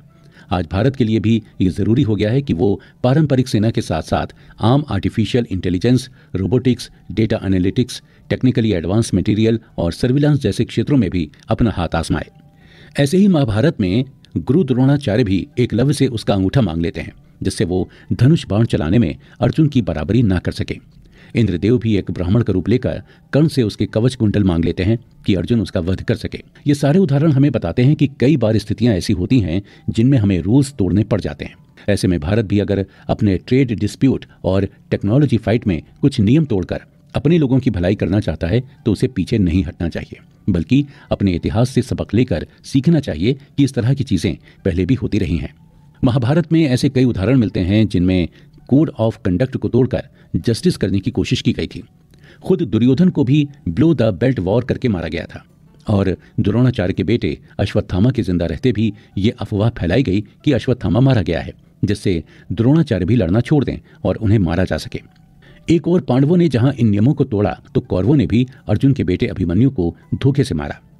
द्रोणाचार्य से झूठ बोलकर उन्हें मारा गया तो द्रोणाचार्य के बेटे अश्वत्थामा ने रात में पांडवों के कैंप में जाकर उनके बच्चों को मार डाला था। इससे ये साफ़ दिखाई देता है कि अगर हम कुछ खास चीज़ों को प्राप्त करने के लिए नियम तोड़ते भी हैं, तब भी उनका अंजाम हमें भुगतना ही पड़ता है। ऐसे में हमें यह तय करना पड़ेगा कि क्या वाकई में नियम तोड़कर उसकी कीमत चुकाने जैसी कंडीशन है या नहीं। आज की मॉडर्न दुनिया में भारत जैसे देशों को पाकिस्तान से स्पॉन्सर्ड आतंकवाद से लड़ाई लड़नी पड़ती है। और किसी भी देश के लिए स्टेट के द्वारा फैलाए जाने वाले आतंकवाद से लड़ना बहुत मुश्किल काम है। भारत के कई बार दोस्ती का हाथ बढ़ाने के बावजूद भी बदले में आतंकवादी हमले ही मिले। और तो और पाकिस्तान जैसे देश भारत को न्यूक्लियर हथियारों की धमकी भी देते हैं। ऐसे में भारत के पास नियमों के हिसाब से चलने का ऑप्शन नहीं रह जाता। और हमें आतंकवाद को रोकने के लिए कई रूल्स को तोड़ना भी पड़ सकता है।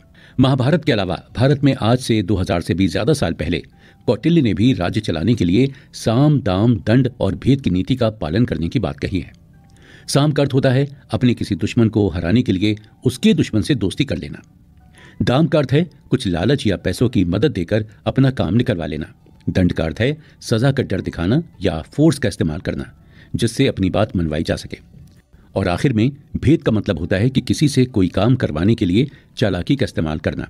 भारत की ही तरह चीन की स्ट्रेटजी भी उसके एक पुराने ग्रंथ थ्री किंगडम्स में मिल जाती है।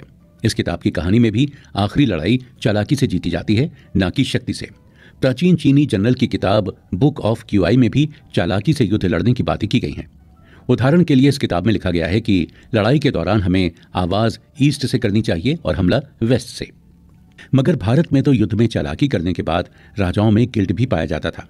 लेकिन चीन में गिल्ट और शक की बजाय इस तरह जंग जीतने पर राजा को ग्लोरीफाई किया जाता है। आधुनिक इतिहास में इंग्लैंड ने यही स्ट्रेटजी कॉलोनियलिज्म के दौर में अपनाई थी, जब भारत के साथ साथ दुनिया के कई देश, ब्रिटेन और यूरोप के दूसरे देशों के कब्जे में थे। भारत जैसे देशों पर राज करते हुए इंग्लैंड कहता था कि इसमें भारतीयों की ही भलाई है। लेकिन भारत के साथ हमेशा ये प्रॉब्लम बनी रही कि हम पॉलिसी और ऑब्जेक्टिव में फ़र्क नहीं कर पाते थे। इसीलिए 1950 के दशक में हम एशिया के सभी देशों के आपस में भाईचारे की बात करते थे और उसी दौरान चीन हम पर हमले की तैयारी कर रहा था। महाभारत में एक और किरदार था जिसकी चर्चा बहुत कम होती है, लेकिन उसका रोल बहुत कमाल का था और उस किरदार का नाम था सुशर्मा। वो त्रिगत्र राज्य के वॉरियर्स का नेता था। ये लोग कौरवों की तरफ़ से लड़ाई में उतरे थे और अर्जुन से खास दुश्मनी रखते थे। कौरवों को पांडवों के खिलाफ भड़काते हुए सुशर्मा ने अज्ञातवास में रह रहे पांडवों को विराट राज्य से भगाने की योजना बनाई थी। कौरवों के साथ मिलकर सुशर्मा ने प्लान बनाया कि वो युधिष्ठिर को ज़िंदा पकड़कर कैदी बना लेंगे और इस दौरान अर्जुन युधिष्ठिर की मदद न कर पाए, इसलिए सुशर्मा अर्जुन को लड़ाई के लिए ललकारेगा। अर्जुन ने सुशर्मा से वो लड़ाई जीत तो ली, लेकिन उसके पीठ पीछे उसके बेटे अभिमन्यु को मार दिया गया। ये कहानी हमें बताती है कि छोटी से छोटी दुश्मनी भी सामने वाले को नुकसान पहुँचाने के चक्कर में हमें खुद ही बर्बाद कर सकती है। महाभारत की पूरी लड़ाई में सबसे बड़ा और अहम फैक्टर थे श्री कृष्ण। उनकी खासियत थी कि वो छोटी मोटी लड़ाइयों से ऊपर उठकर बड़ी पिक्चर देख सकते थे, फिर उसके हिसाब से स्ट्रेटेजी बनाते थे।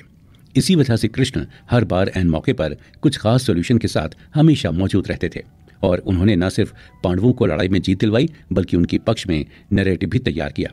और लोगों के दिमाग में पांडवों को हीरो बना दिया। वो कृष्ण ही थे जिन्होंने द्रोणाचार्य, कर्ण और दुर्योधन को मारने के तरीके पांडवों को बताए थे, क्योंकि श्री कृष्ण ने ही उन्हें पहले से एक बड़ी लड़ाई के लिए तैयार रहने के लिए कह दिया था। अब इसे हम चाहे कृष्ण की चालाकी कहें या कॉल टू एक्शन लेकिन इतना तो तय है कि कृष्ण की स्ट्रेटजी के बिना महाभारत की लड़ाई पांडव कभी जीत नहीं सकते थे। बात सिर्फ़ इतनी सी नहीं है कि कृष्ण ने पांडवों को रास्ता दिखाया।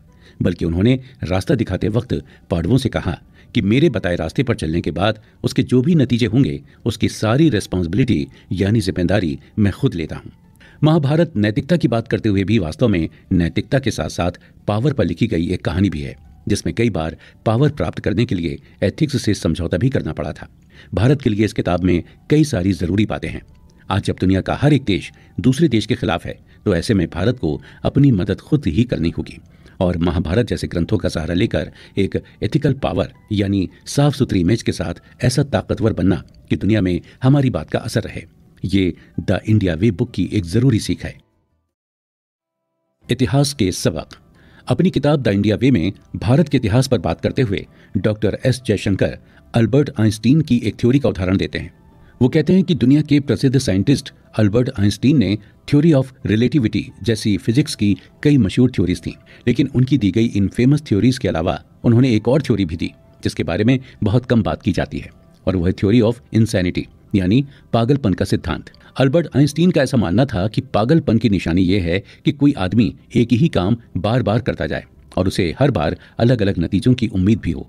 इसे इस तरह से भी समझा जा सकता है, जैसे अगर कोई आदमी अलग अलग कंडीशन में एक ही तरह का काम करे और उसे नतीजे भी एक ही जैसे चाहिए तो वो पागलपन वाली हरकत कर रहा है।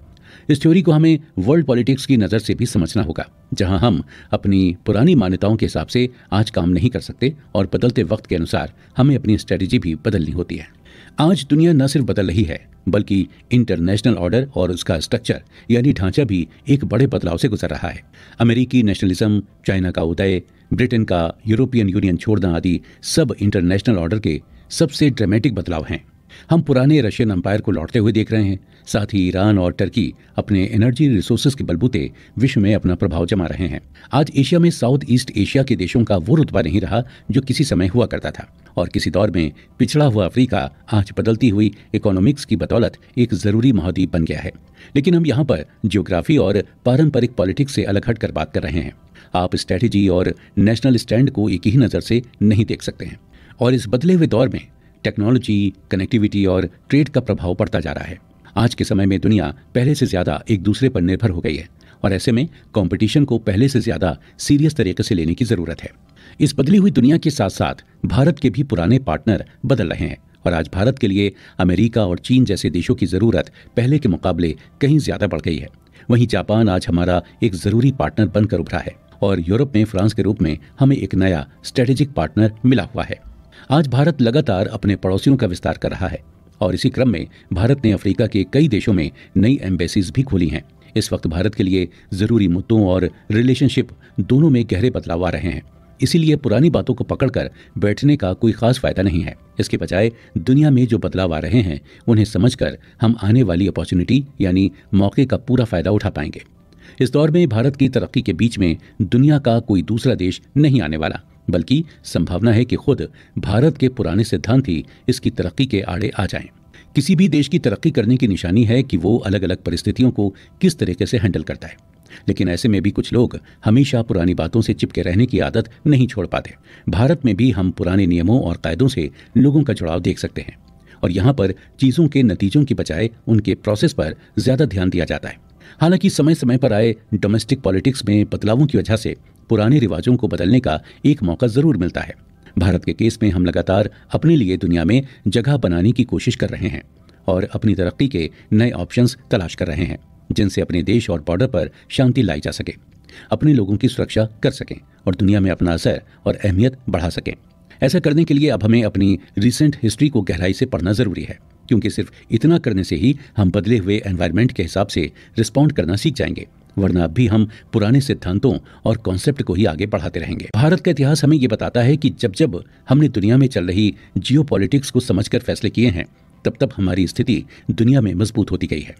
फिर चाहे वो साल उन्नीस सौ इकहत्तर का बांग्लादेश वॉर हो, साल उन्नीस सौ बानवे की इकोनॉमिक क्राइसिस हो साल उन्नीस सौ अट्ठानवे में भारत में हुआ न्यूक्लियर टेस्ट हो, या साल 2005 की इंडिया अमेरिका न्यूक्लियर डील हो।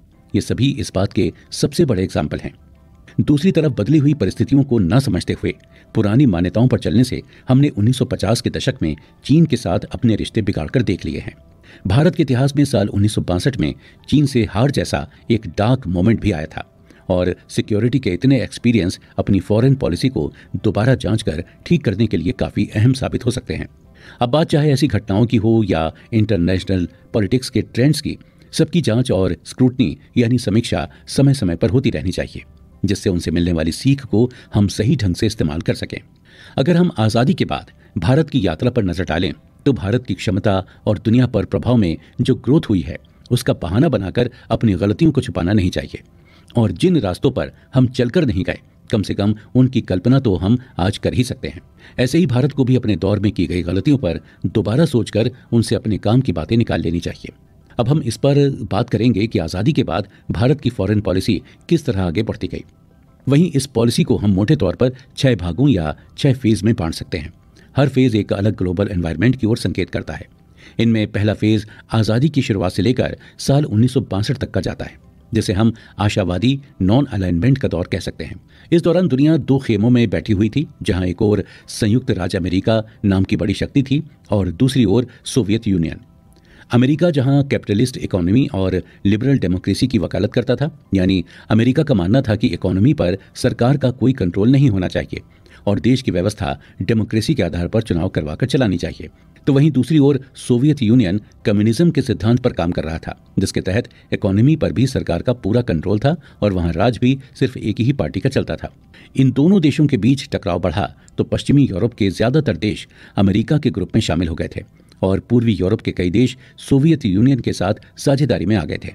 इस दौरान भारत ने अपनी फॉरेन पॉलिसी को कैसे चलाया और वो किन चुनौतियों से गुजरी, इसकी चर्चा हम आपके साथ आने वाले अगले एपिसोड्स में करेंगे। भारत की फॉरेन पॉलिसी के फेस भारत की फॉरेन पॉलिसी के पहले फ़ेज़ की शुरुआत हुई सन 1946 से उन दिनों भारत का लक्ष्य था कि वो अपनी इकोनॉमी और फैसले लेने की आज़ादी को बचा कर रखे। इस वजह से भारत ने सोवियत यूनियन और अमेरिका दोनों ही महाशक्तियों से दूरी बनाकर रखी। ऐसे में भारत का साथ दिया अफ्रीका और एशिया के नए नए आज़ाद हुए देशों ने। भारत की इस नीति को नॉन अलाइनमेंट मूवमेंट कहा गया। लेकिन ऐसा नहीं था कि इस दौर में भारत दुनिया से पूरी तरह से कट गया। बल्कि इसके उलट नॉन अलाइनमेंट मूवमेंट के उस दौर में दुनिया ने कोरिया, वियतनाम स्वेज नहर और हंगरी जैसे डिस्प्यूट में भारत की डिप्लोमेसी को ज़रूरी रोल निभाते हुए देखा।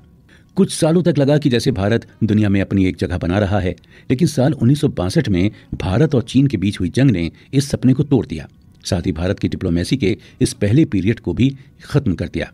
साल उन्नीस सौ बासठ की लड़ाई में हुई भारत की हार ने न सिर्फ़ भारत के रुतबे को कम कर दिया, बल्कि अफ्रीका और एशिया के देशों को साथ लेकर चलने की, भारत की रणनीति को भी सवालों के घेरे में लाकर खड़ा कर दिया। इसके बाद आता है हमारी विदेश नीति का दूसरा फ़ेज़ जो साल उन्नीस सौ बासठ से उन्नीस सौ इकहत्तर तक चलता है। भारत की फॉरेन पॉलिसी का ये दौर पुरानी इज़्ज़त दोबारा पाने का दौर था। इस दौरान भारत ने सिक्योरिटी के मसले पर प्रैक्टिकल फैसले लिए और पॉलिटिकल चैलेंज को सही ढंग से हैंडल किया। पहली बार भारत ने नेशनल इंटरेस्ट के लिए नॉन अलाइनमेंट से भी पाँव पीछे खींचे। मगर भारत की स्ट्रेटेजिक पोजीशन के साथ साथ कश्मीर में मुद्दे पर बाहर का प्रेशर बढ़ने लगा। खासकर अमेरिका और ब्रिटेन भारत पर दबाव डालकर पाकिस्तान की ओर झुकने लगे। लेकिन दुनिया अब भी दो गुटों में बटी हुई थी। इस दौर में भारत ने सोवियत यूनियन के साथ साथ अमेरिका के साथ भी संबंध बनाने की शुरुआत की। ये दौर था जब दोनों सुपर पावर देश का इंटरेस्ट साउथ एशिया की ओर बढ़ता जा रहा था। और इसी बीच साल 1965 में भारत पाकिस्तान युद्ध हुआ और साल 1966 में युद्ध को खत्म करने के लिए उज्बेकिस्तान की राजधानी ताशकंद में समझौता किया गया। इस समझौते के दौरान भी भारत न सिर्फ़ पाकिस्तान बल्कि दोनों सुपर पावर देशों से भी एक साथ निपट रहा था। भारत की डोमेस्टिक पॉलिटिक्स के लिए ये एक ऐसा वक्त था जब हालात देश के अंदर भी खराब हो रहे थे, क्योंकि इकोनॉमी के खराब होने से लेकर रोज रोज होने वाली हड़तालों तक ने सरकार के कामकाज को मुश्किल बना दिया था। लेकिन ध्यान देने वाली बात यह है कि इस दौर में इतने बड़े हुए स्ट्रेसेस के बावजूद भारत को कोई बड़ा नुकसान नहीं उठाना पड़ा। फिर साल उन्नीस सौ इकहत्तर से उन्नीस सौ इक्यानवे तक भारत की फॉरेन पॉलिसी का तीसरा फ़ेज़ चलता है। ये वो दौर था जब साउथ एशिया में भारत का प्रभाव सबसे ज़्यादा देखा गया। इस फ़ेज़ की शुरुआत हुई भारत पाकिस्तान के साल उन्नीस सौ इकहत्तर के युद्ध से। जब भारत ने पाकिस्तान के लगभग एक लाख सैनिकों को सरेंडर करवाकर लड़ाई में जीत हासिल की और बांग्लादेश नाम के एक नए देश का उदय हुआ। मगर सफलता से भरे हुए इस दौर में भी भारत ने एक बहुत बड़ी गलती श्रीलंका में अपने सैनिक भेजकर की। उन दिनों श्रीलंका में तमिल और सिंगली भाषा बोलने वाले लोग आपस में लड़ रहे थे। दरअसल ऐसा उस वक्त श्रीलंका की सरकार तमिलों के मुकाबले सिंगलियों को ज़्यादा फ़ायदा पहुँचा रही थी। साथ ही तमिल को हटाकर सिंगली भाषा को वहाँ इकलौती ऑफिशियली भाषा बनाने की भी कोशिश की गई। ऐसे में श्रीलंका के तमिल बुरी तरह से भड़क गए और अपने अधिकारों को बचाने के लिए उन्होंने हथियार उठा लिए। श्रीलंका के इन अलग देश मांगने वाले तमिलों ने अपने लिए एक दूसरे देश तमिल इलम की मांग रखी और इस काम के लिए उन्होंने एक संगठन भी बनाया और अपने इस संगठन का नाम रखा लिबरेशन टाइगर्स ऑफ़ तमिल इलम यानी लिट्टे। वहीं भारत सरकार ने वहाँ चल रहे सिविल वॉर को खत्म करने के लिए अपने सैनिकों को भेजा। जिसे इंडियन पीस कीपिंग फोर्स यानी आईपीकेएफ कहा गया। लेकिन श्रीलंका में भारत के इन सैनिकों का स्वागत और भी ज़्यादा हिंसा और मारकाट से किया गया। देखते ही देखते श्रीलंका में हालात और ज़्यादा बुरे हो गए। आखिरकार भारत को अपने सैनिकों को वापस बुलाना पड़ा। साल उन्नीस सौ इकहत्तर में भारत के लिए एक और चुनौती हमारे पड़ोस में खड़ी हो रही थी, जहाँ पहली बार चीन और यूनाइटेड स्टेट्स ऑफ़ अमेरिका एक दूसरे के करीब आ रहे थे। अमेरिका के विदेश मंत्री हेनरी किसिंजर भी चिपके चिपके चीन की यात्रा कर चुके थे और दोनों देश अब समझौते की कगार पर आ गए थे। ऐसे में अब तक एक ओर तो अमेरिका और पाकिस्तान आपस में दोस्ती कर चुके थे और दूसरी ओर अमेरिका और चीन भी एक दूसरे के करीब आ गए थे। तो इस दौरान भारत ने सोवियत यूनियन के साथ एक ट्रीटी करते हुए अपने आप को थोड़ा सा सोवियत गुट की ओर झुका लिया। सोवियत यूनियन के साथ ये ट्रीटी भारत ने अमेरिका, चीन और पाकिस्तान को बैलेंस करने के नज़रिए से की। लेकिन साल उन्नीस सौ इक्यानवे में ही सोवियत यूनियन बिखर कर अलग अलग देशों में बट गया और भारत ने इसके साथ ही अपना एक पुराना साथी भी खो दिया। इसके बाद तो हालात और बुरे होते गए और साल उन्नीस सौ इक्यानवे में भारत को एक इकोनॉमिक क्राइसिस का भी सामना करना पड़ा। ऐसे में अपनी फॉरेन और डोमेस्टिक पॉलिसी को दोबारा जाँच कर ठीक करने के अलावा भारत के लिए दूसरा कोई चारा नहीं बचा था। सोवियत यूनियन के बिखरने के बाद दुनिया थोड़े समय के लिए यूनिपोलर हो गई। यानी अब दुनिया में सिर्फ़ एक ही महाशक्ति बच गई थी, जिसका नाम था यूनाइटेड स्टेट्स ऑफ़ अमेरिका। इस दौर में भारत की फॉरेन पॉलिसी के चौथे फ़ेज़ की शुरुआत हुई। इस वक्त भारत अपना एक पुराना साथी खो चुका था और दुनिया अब पूरी तरह बदल चुकी थी। ऐसे दौर में अब भारत को अपनी स्ट्रेटेजी के बारे में दोबारा से नए ढंग से सोचने की ज़रूरत थी। चौथे फ़ेज़ में भारत ने अपनी इकोनॉमी में बदलाव करते हुए खुद को एक ओपन मार्केट बनाया। और यहाँ दुनिया भर से इन्वेस्टमेंट को न्योता दिया गया। ये भारत के स्टैंड में एक बहुत बड़ा बदलाव था, क्योंकि इससे पहले भारत समाजवाद के सिद्धांतों पर काम करता था, जिसके तहत ज़्यादातर बड़ी इंडस्ट्रीज़ पर सरकार का हक रहता था। लेकिन अब ज़्यादा से ज़्यादा प्राइवेट इंडस्ट्रीज़ खोलने की योजना बनाई गई। इसके बाद फॉरेन पॉलिसी की नज़र से भारत सरकार ने लुक ईस्ट पॉलिसी की शुरुआत की। इसके तहत भारत में अपना सारा ध्यान साउथ ईस्ट एशिया के देश जैसे इंडोनेशिया, मलेशिया और थाईलैंड आदि पर लगा दिया। इकोनॉमिक लक्ष्यों के अलावा भारत ने पॉलिटिकल नज़रिए से इसराइल से करीबी बढ़ानी शुरू कर दी। यही वो दौर था जब भारत और अमेरिका के बीच संबंध के पहले मुकाबले बेहतर हो रहे थे। हालाँकि इस दौर में भी भारत ने ज़रूरी मुद्दों पर अमेरिका की आलोचना करना बंद नहीं किया। सिक्योरिटी यानी सुरक्षा की नज़र से भारत को अब न्यूक्लियर हथियार प्राप्त करना बहुत ज़रूरी था। क्योंकि भारत का अपने पड़ोसी देशों से तनाव बढ़ता जा रहा था और अपनी स्ट्रेटेजिक ऑटोनॉमी यानी बिना किसी डर के फैसले लेने की आज़ादी बचाने के लिए न्यूक्लियर ऑप्शन का प्रयोग करना भारत के लिए ज़रूरी हो गया था। साल उन्नीस सौ अट्ठानबे में राजस्थान के पोखरण क्षेत्र में न्यूक्लियर टेस्ट करके भारत ने अपने आप को एक परमाणु शक्ति घोषित कर दिया और इसके बाद पाकिस्तान ने एक साल बाद कश्मीर के कारगिल पर हमला कर दिया। मगर इस हमले को नाकामयाब करने के बाद भारत की इकोनॉमिक ग्रोथ लगातार बढ़ती गई और अमेरिका भी भारत का एक साथी देश बनने लगा था। उस वक्त ऐसा महसूस किया गया कि दुनिया अब पहले से ज़्यादा कॉम्पिटिशन में उतर चुकी थी और ऐसे में भारत के लिए भी और नए नए अवसरों की खिड़की खुलती जा रही थी। दुनिया अब यूनिपोलरिटी से हटकर मल्टीपोलरिटी की ओर बढ़ रही थी। इसका मतलब है कि अमेरिका के अलावा दुनिया के कई देश छोटी छोटी ताकतों के रूप में उभर रहे थे। ऐसे में भारत ने भी दुनिया के अलग अलग देशों के साथ साझेदारी करने का मन बनाया और साथ ही भारत की फॉरेन पॉलिसी का पांचवां फ़ेज़ शुरू हो गया। फॉरेन पॉलिसी के पाँचवें फ़ेज़ में भारत धीरे धीरे दुनिया की एक बैलेंसिंग पावर बनने लगा। यानी भारत अब एक ऐसी जगह पहुँच गया था जहाँ वो किसी देश को मनमानी करने से रोक सके। दुनिया में भारत की एक अलग जगह बनने लगी थी और उसकी कही हुई बात का असर भी होने लगा था। वहीं भारत के इस बड़े हुए कद की एक झलक हमें इंडिया अमेरिका न्यूक्लियर डील में भी देखने को मिली। और इंडिया के, यूरोप के बाकी देशों के साथ संबंधों में भी इसके उदाहरण देखे जा सकते हैं। ठीक इसी समय, इंडिया क्लाइमेट चेंज और ट्रेड जैसे मुद्दों पर चीन के साथ कदम से कदम मिलाकर चल रहा था और दोनों ही देश रूस के करीबी सहयोगी बने हुए थे। इसी दौरान ब्राज़ील, रूस और साउथ अफ्रीका के साथ भारत और चीन ने मिलकर ब्रिक्स नाम का एक बड़ा फोरम बनाया, जहाँ ये सभी उभरती हुई इकोनॉमी अपने विकास को लेकर चर्चा करते थे। इस दौर को भारत के लिए एक पीरियड ऑफ़ अपॉर्चुनिटी कहा जा सकता है। लेकिन इसके बाद धीरे धीरे भारत की कंडीशन में ऐसे बदलाव हुए कि साल 2014 तक आते आते ये फ़ेज़ भी खत्म हो गया और भारत की फॉरेन पॉलिसी का छठा फ़ेज़ शुरू हुआ, जो आज तक चल रहा है। फॉरेन पॉलिसी के इस दौर में चीन भी दुनिया की एक बड़ी ताकत बन गया और दुनिया के लगभग हर हिस्से के साथ चीन की अपनी पार्टनरशिप शुरू हो गई। इसलिए भारत को अब अपनी फॉरेन पॉलिसी में बदलाव लाना बेहद ज़रूरी हो गया। वहीं अमेरिका की पोजीशन अब पहले की तरह नहीं रही और वो किस तरफ़ झुकेगा, ये कहना भी आसान काम नहीं था। क्योंकि इराक की लड़ाई के बाद अमेरिका के रिसोर्सेज कम पड़ने लगे और वो बाहर के मामलों में दखलअंदाजी करना कम कर चुका था। और सालों से अफ़गानिस्तान में लड़ रहे अमरीकी सैनिकों को भी अमेरिका ने अपने देश बुला लिया था। बीते कुछ समय से यूरोप भी अब सिर्फ़ अपने देश के अंदर ही ध्यान लगा रहा था और बाहर की दुनिया में क्या चल रहा है, इससे अपने आप को काट चुका था। वहीं जापान अब दोबारा दुनिया के मसलों पर बोलने की कोशिश कर रहा था, लेकिन उसका यह विकास भी बेहद धीमी गति से चल रहा है। इसी बीच साल 2008 में एक फाइनेंशियल क्राइसिस ने कई देशों की अर्थव्यवस्था को हिलाकर रख दिया और भारत और एशिया के दूसरे देश भी इस फाइनेंशियल क्राइसिस का शिकार हुए थे। इस क्राइसिस के बाद ग्लोबल इकोनॉमी को फिर से बैलेंस करने के लिए नए तरीकों के बारे में सोचने की ज़रूरत थी और इसी के बाद से दुनिया में कई सारी शक्तियों का उदय एक साथ होने लगा, जिसके बाद दुनिया सही मायनों में मल्टीपोलर बन गई। फ़िलहाल ये साफ़ है कि अब दुनिया में यूरोप और अमेरिका जैसे गिने चुने बड़े प्लेयर्स नहीं थे। बल्कि ब्राज़ील, रूस, Bharat, South Korea, Japan, Australia और कनाडा जैसे और भी कई सारे देश अपनी अपनी आवाज़ मज़बूत कर रहे थे। इस फ़ेज़ की शुरुआत में भारत ने अपनी फॉरेन पॉलिसी में किस तरह के बदलाव किए और किन नीतियों पर हम आज भी चल रहे हैं, इसकी चर्चा हम एस जयशंकर द्वारा लिखी गई इस बुक समरी के अगले एपिसोड में करेंगे। आज के भारत की फॉरेन पॉलिसी। दोस्तों, पिछले एपिसोड तक हमने भारत की फॉरेन पॉलिसी के पाँच फ़ेज़ जान लिए। और साथ ही हमने जाना कि छठे फ़ेज़ की शुरुआत साल 2014 से होती है।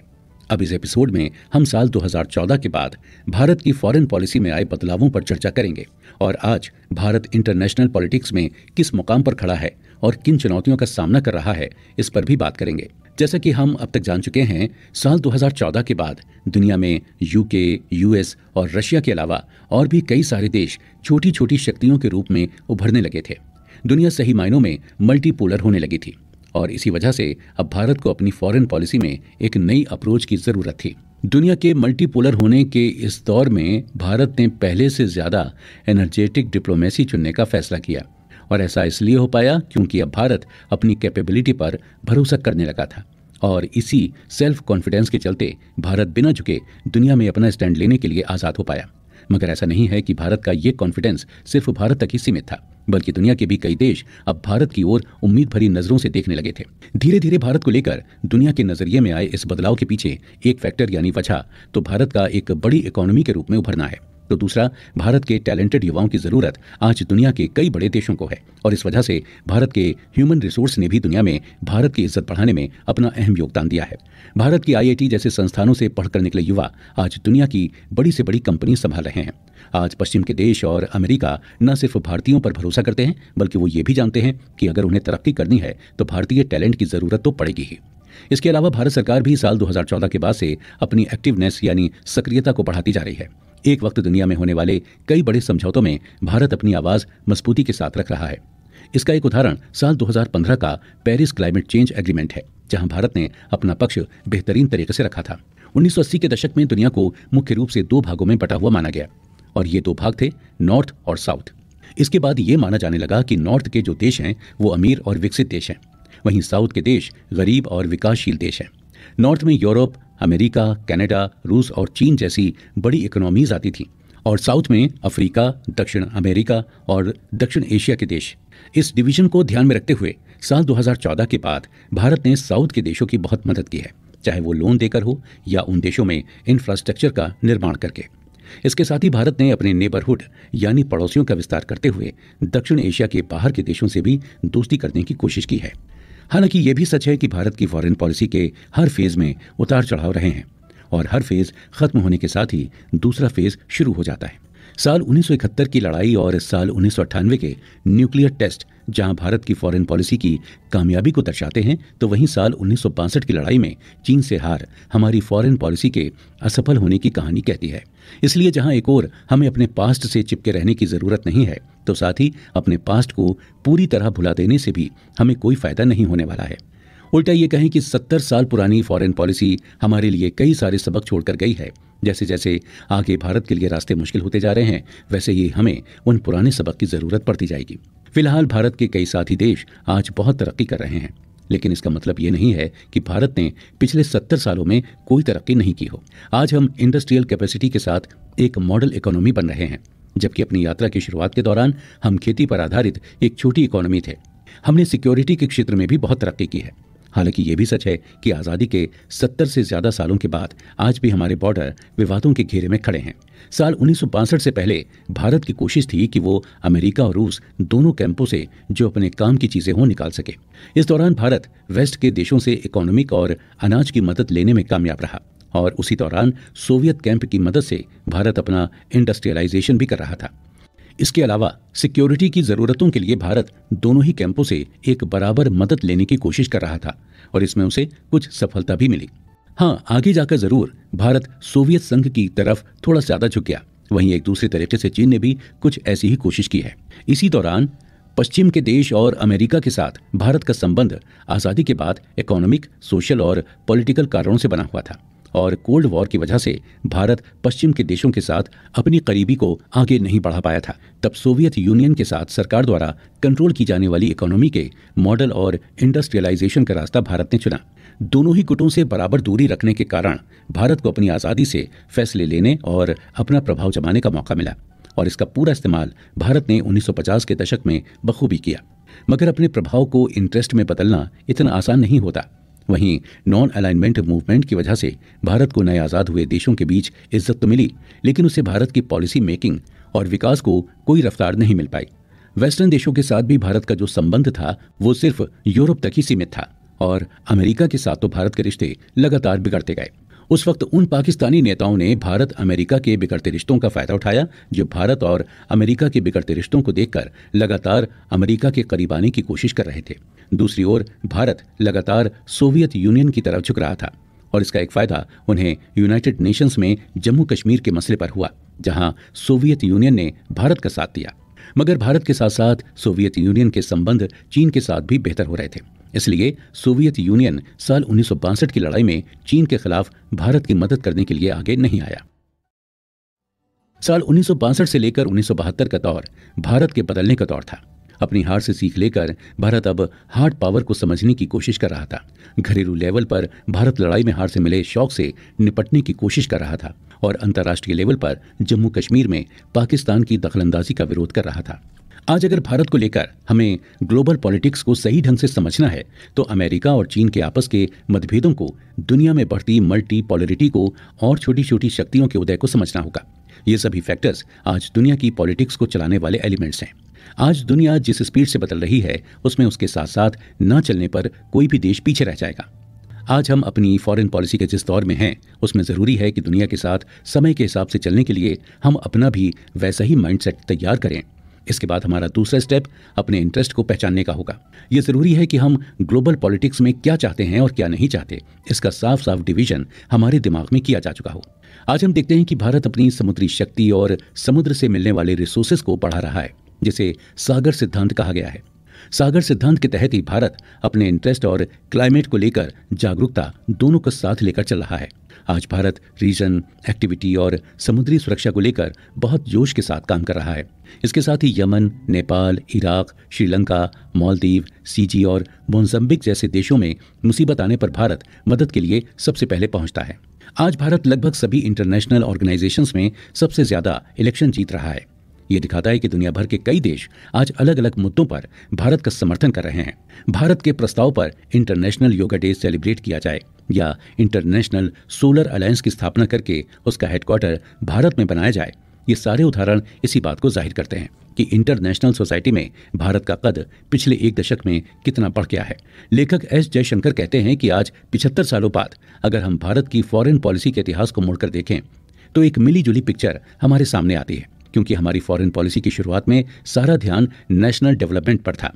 और ये बात हमें माननी होगी कि उस दौरान हमने वास्तव में प्रोग्रेस भी की थी। लेकिन वो प्रोग्रेस हमारी उम्मीदों के हिसाब से काफ़ी नहीं थी, क्योंकि हमारे आज़ाद होने के समय ही चीन भी अपनी देश में क्रांति कर चुका था और वहाँ कम्युनिस्ट शासन आ गया था। ऐसे में दोनों देशों ने अपनी अपनी यात्रा साथ में शुरू की और उसके बावजूद चीन हर मामले में भारत से कई गुना ज़्यादा आगे निकल चुका है। अगर हमने इंटरनेशनल रिलेशंस को सही ढंग से समझा होता और ग्लोबल पॉलिटिक्स की बड़ी पिक्चर को देखते हुए काम किया होता तो शायद नतीजे कुछ और निकलते। मगर इसके बजाय, हमारी हमेशा से एक जैसी फॉरेन पॉलिसी चलाने की आदत ने ही हमें कभी अपनी नीतियों की समीक्षा करने ही नहीं दी, और न ही कभी हमारी परफॉर्मेंस पहले से बेहतर हो पाई। एक उभरती हुई शक्ति के रूप में, भारत को अपनी फॉरेन पॉलिसी के मामले में जितनी डिबेट की ज़रूरत थी, उतनी कभी की ही नहीं गई। आज हम एक बदलाव के दौर में जी रहे हैं और हम पहले से ज़्यादा कॉन्फिडेंट हैं। साथ ही हम पहले से ज़्यादा उम्मीदों के साथ अपने लक्ष्य को पूरा करने की कोशिश कर रहे हैं। एस जयशंकर कहते हैं कि आज भारत न तो रिस्क लेने से डरता है और न ही सपने देखना बंद करता है। लेकिन इसके साथ ही लेखक का सुझाव है कि हमें अपने बॉर्डर को लेकर विवादों पर भी गहराई से सोचना चाहिए। एक देश जो दुनिया की बड़ी ताकत बनना चाहता है, जो अपने बॉर्डर डिस्प्यूट सेटल किए बिना कभी इस दिशा में तरक्की नहीं कर सकता। इसके अलावा अपने देश के हर हिस्से को मेन स्ट्रीम से जोड़ना और अब तक जिन अपॉर्चुनिटी का इस्तेमाल नहीं किया गया है, उन्हें ढूंढकर उनका पूरा फ़ायदा उठाना भी बेहद ज़रूरी है। और आखिर में दुनिया में एक ज़रूरी रोल निभाने की ओर बढ़ते हुए भारत के लिए पहला कदम होगा कि हम पुरानी परंपराओं को छोड़कर समय के अनुसार अपने आप को बदलना सीखें। कोविड के बाद बदलती दुनिया। द इंडिया वे बुक की समरी सुनते हुए आप पहले एपिसोड से ही जानते हैं कि इक्कीसवीं सदी में दुनिया बहुत तेज रफ्तार से बदल रही है। आज दुनिया के सामने जितने बड़े संकट हैं, उतना ही मज़बूत नेशनलिज्म भी है और उतनी ही ज़्यादा प्रतियोगिता भी बढ़ चुकी है। इतनी चुनौतियाँ आज दुनिया भर के अनेक देशों को जकड़ती जा रही हैं। लेकिन एक वायरस ने इन सारी परेशानियों को ढक दिया और दुनिया के सामने अब तक का सबसे बड़ा संकट लाकर खड़ा कर दिया। दोस्तों, हम बात कर रहे हैं कोरोना वायरस की। कोरोना वायरस को आज किसी तरह के इंट्रोडक्शन की ज़रूरत नहीं है। किसी फ़िल्म स्टार को भले लोग ना जानते हों, लेकिन कोरोना वायरस का नाम इस दुनिया के छोटे से छोटे गाँव का कोई बच्चा भी अच्छे से जानता और पहचानता है। इसलिए इस एपिसोड में हम कोरोना वायरस के बाद दुनिया में आए बदलावों पर चर्चा करेंगे। कोरोना वायरस की शुरुआत चीन के शहर वुहान से हुई, और उसके बाद धीरे धीरे ये फैलता हुआ पूरी दुनिया में पहुँच गया। हमने देखा कि कोरोना की वजह से फैली महामारी के कारण दुनिया भर में लॉकडाउन लगाकर सारे कामकाज रोक दिए गए। और इस वजह से लोगों ने न सिर्फ़ अपने रोज़गार गंवाए, बल्कि उन्हें एक जगह से दूसरी जगह पर भी उन गरीबों पर पड़ी जो लगातार मेहनत करके अपनी गरीबी से बाहर निकलने की कोशिश कर रहे थे। लेकिन कोरोना ने उन्हें दोबारा गरीबी में पटक दिया। कोरोना नाम की यह महामारी इतनी बड़ी थी कि दुनिया इससे प्रभावित हुए बिना नहीं रह सकती थी। और इसका नतीजा ये हुआ कि दुनिया की इकोनॉमी अब बदल रही है। टेक्नोलॉजी के भरोसे चल रही अमेरिका जैसे देश की इकोनॉमी भी अब हेल्थ सिक्योरिटी पर अपना ध्यान लगा रही है। इसका एक उदाहरण ग्लोबल सप्लाई चेन के रूप में भी सामने आया है। ग्लोबल सप्लाई चेन उस नेटवर्क का नाम है जिसकी मदद से दूर पश्चिम के किसी देश में बना हुआ सामान भारत पहुँचाया जा सकता है और भारत में बना सामान यूरोप के किसी देश भेजा जा सकता है। लेकिन कोरोना के दौरान एक समय मार्केट में दवाइयाँ, मास्क, सैनिटाइजर और टेस्टिंग किट जैसी चीज़ों की कमी से बड़े से बड़ा देश भी इसके खतरे से जूझ रहा था। ऐसे में ये लाजमी है कि हम इस बारे में बात करें कि इस पेंडेमिक के बाद ग्लोबल सप्लाई चेन और इकोनॉमी पर क्या प्रभाव पड़े होंगे। वहीं अमेरिका की भी इस पुरानी सोच को धक्का लगा था कि एक इकोनॉमी को सिर्फ़ प्रॉफिट और एडमिनिस्ट्रेशन पर ध्यान देना चाहिए। कोरोना वायरस ने यह साबित किया है कि समाज के मुकाबले इकोनॉमी को प्रायोरिटी पर रखने से नुकसान ही होते हैं। इसके साथ ही दूसरे देशों में जाकर बिज़नेस करने को लेकर भी लोगों के मन में रिस्क की भावना बढ़ गई है। और सरकार के बनाए कानून कब किस मौके पर अचानक बदलने पड़ जाएँ, ये भी कोविड 19 के बाद कहना मुश्किल हो गया है।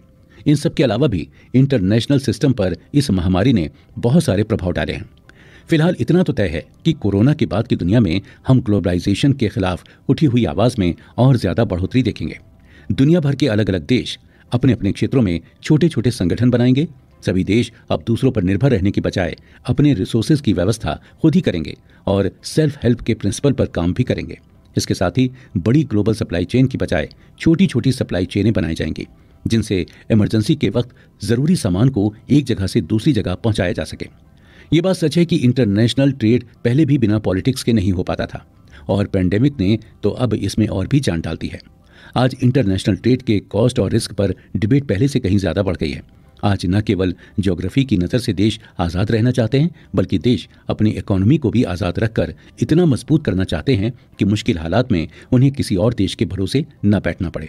आज दुनिया में भरोसेमंद साथी देश की परिभाषा बहुत बड़ी हो गई है, क्योंकि सिर्फ़ उस देश को दोस्त नहीं माना जा सकता जो हमें टेक्नोलॉजी या इंफ्रास्ट्रक्चर में मदद करे, बल्कि इसके अलावा इमरजेंसी के हालात में अपने रिसोर्सेज से हमें मदद देने वाले देश को हम अपना दोस्त कहेंगे।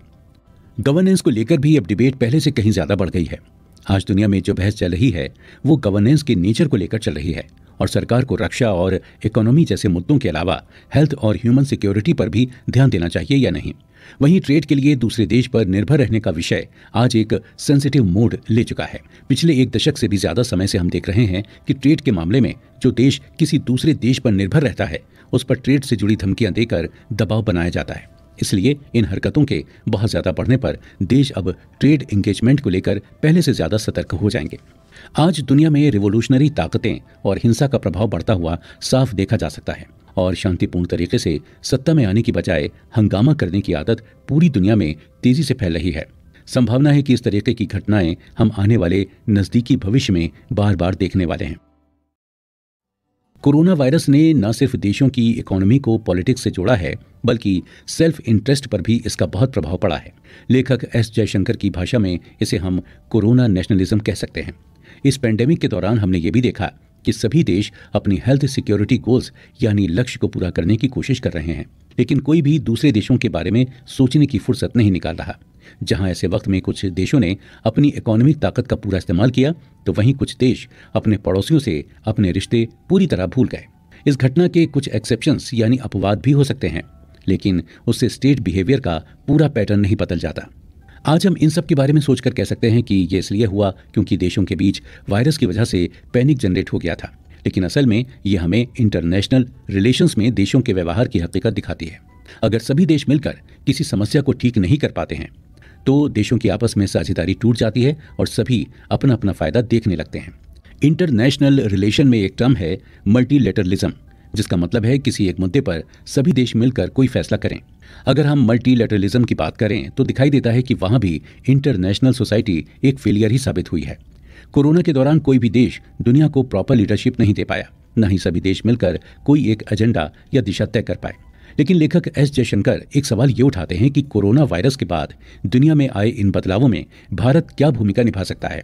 इसका जवाब देते हुए लेखक कहते हैं कि भारत के लिए आगे का रास्ता ये है कि वो न केवल इन मुद्दों पर खुलकर बोले, बल्कि इन पर फैसले भी करे। क्योंकि आज भारत जिस स्थिति में है, वहाँ उसे चुप बैठने की बिल्कुल ज़रूरत नहीं है। ये बात हम क्लाइमेट चेंज और ग्लोबल कनेक्टिविटी जैसे मुद्दों पर देख चुके हैं, जब दुनिया ने भारत की कही बात को बहुत गौर से सुना था। भारत को अपनी ज़िम्मेदारी का एहसास होना चाहिए और उसे एक सही और ईमानदार ताकत के रूप में व्यवहार करना चाहिए, जो पूरे ग्लोबल साउथ के लिए एक पैरामीटर की तरह काम करे। अपने देश में भारत को न सिर्फ़ डेवलपमेंट से जुड़े चैलेंजेस एड्रेस करने हैं, बल्कि मॉडर्न सोसाइटी और नेशन स्टेट की ओर तेज़ी से आगे भी बढ़ना है। अंतर्राष्ट्रीय लेवल पर भारत का रास्ता उसे बढ़े हुए कॉन्फिडेंस और बड़ी अचीवमेंट्स की ओर ले जाएगा। इस सब के लिए भारत को किसी और देश पर निर्भर रहने की बजाय सेल्फ रिलायंस यानी आत्मनिर्भर पर भरोसा करना होगा। और सेल्फ रिलायंस के साथ सेल्फ कॉन्फिडेंस भी भारत के लिए उतना ही ज़रूरी है। इस वक्त भारत के लिए कॉन्फिडेंस जुटाना इतना मुश्किल भी नहीं रह गया, क्योंकि पिछले कुछ सालों में जिस तरीके से अलग अलग चैलेंजेस को भारत ने एड्रेस किया है, उससे दुनिया में भारत के नाम की धाक जमी है। पोस्ट कोविड वर्ल्ड में भारत के इस माइंडसेट की ज़रूरत और भी ज़्यादा पड़ेगी। भारत को इस दौर में अपनी प्राथमिकता खुद तय करनी होगी और अपनी समस्याओं के समाधान भी खुद ही ढूँढने होंगे। लेकिन इसके साथ ही उसे दुनिया में बढ़ रहे कंपटीशन का भी मुकाबला करना होगा, क्योंकि हमारे बर्ताव की वजह से दुनिया में हमें किसी न किसी कैटेगरी में रखने की कोशिश की जाएगी और भारत का भी किसी आइडियोलॉजिकल बैटल से आज भागना संभव नहीं होगा, चाहे वो कितना ही कॉम्प्लेक्स मामला क्यों ना हो। पुरानी मान्यताओं और नजरियों को चैलेंज करना हमेशा कंट्रोवर्शियल रहा है। खासकर तब जब उन मान्यताओं के साथ मॉरलिटी या नैतिकता को भी जोड़ दिया जाता है। ऐसे हाल में नए बदलाव लाना एक बहुत रिस्क भरा काम हो सकता है। लेकिन आज एक कॉन्फिडेंट भारत को इन डिबेट में भाग लेकर दुनिया में रीबैलेंसिंग का काम करना होगा। भारत का दुनिया में उदय एक बिना एंडिंग की स्टोरी है। आगे की भारत की यात्रा आरामदायक होगी, ऐसा कहना आज मुमकिन नहीं है। क्योंकि कई बार तकलीफों की वजह हमारे हाथ में नहीं होती, लेकिन हर जनरेशन को अपनी विरासत आगे वाली जनरेशन को देनी ही होती है। और उम्मीद की जाती है कि जब हम अपनी विरासत आने वाली जनरेशन को दे रहे हों तो उसमें अपनी ओर से कुछ कंट्रीब्यूशन करके ही दें। ये काम करने के दौरान हमें लगातार अपने पास्ट की गलतियों को सुधारते हुए फ्यूचर पर ध्यान लगाकर काम करना होगा। बेहतरीन पॉलिसी मेकिंग के लिए हमेशा रिव्यू और प्लानिंग दोनों की ज़रूरत एक साथ पड़ती है। कोरोना के एक्सपीरियंस ने भी हमें ये सीख दी है कि कई बार हमें उन परिस्थितियों का सामना भी करना पड़ता है, जिनकी हमें कोई उम्मीद भी नहीं होती। लेखक का कहना है कि दुनिया में कोई भी इंसान को कोरोना जैसी चीज़ के बारे में भविष्यवाणी नहीं कर सकता था, और न ही ये बता सकता था कि इसके प्रभाव दुनिया पर किस तरीके के होंगे।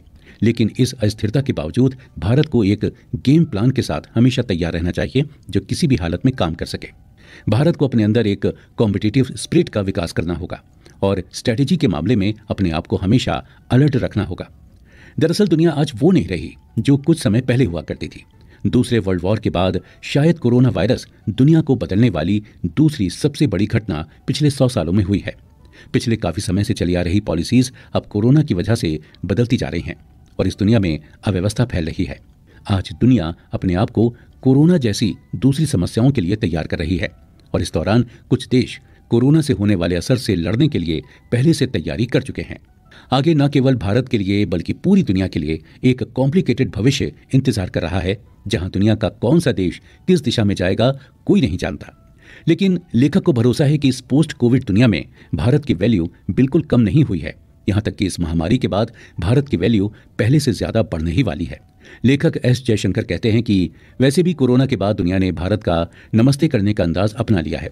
अब इसे दुनिया का इशारा ही समझिए कि आने वाला भविष्य भी भारत के लिए उम्मीदों से भरा होने वाला है।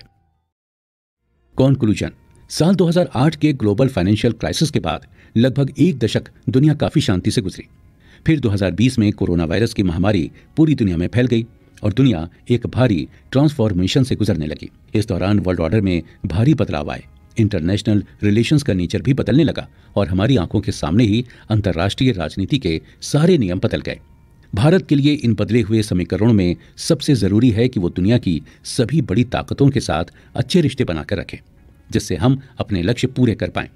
दुनिया की बड़ी शक्तियों के अलावा भारत को अपने नेबरहुड का विस्तार करते हुए अफ्रीका और ईस्ट एशिया में भी अपनी पहुँच बनानी होगी।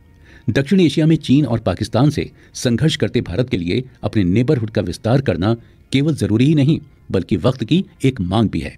आज भारत की बड़ी हुई कैपेबिलिटी और रेलिवेंस दुनिया में अपने निशान छोड़ रही है। हमारे यहाँ के युवा अपने टैलेंट के दम पर दुनिया में अपनी काबिलियत का परचम फहरा रहे हैं।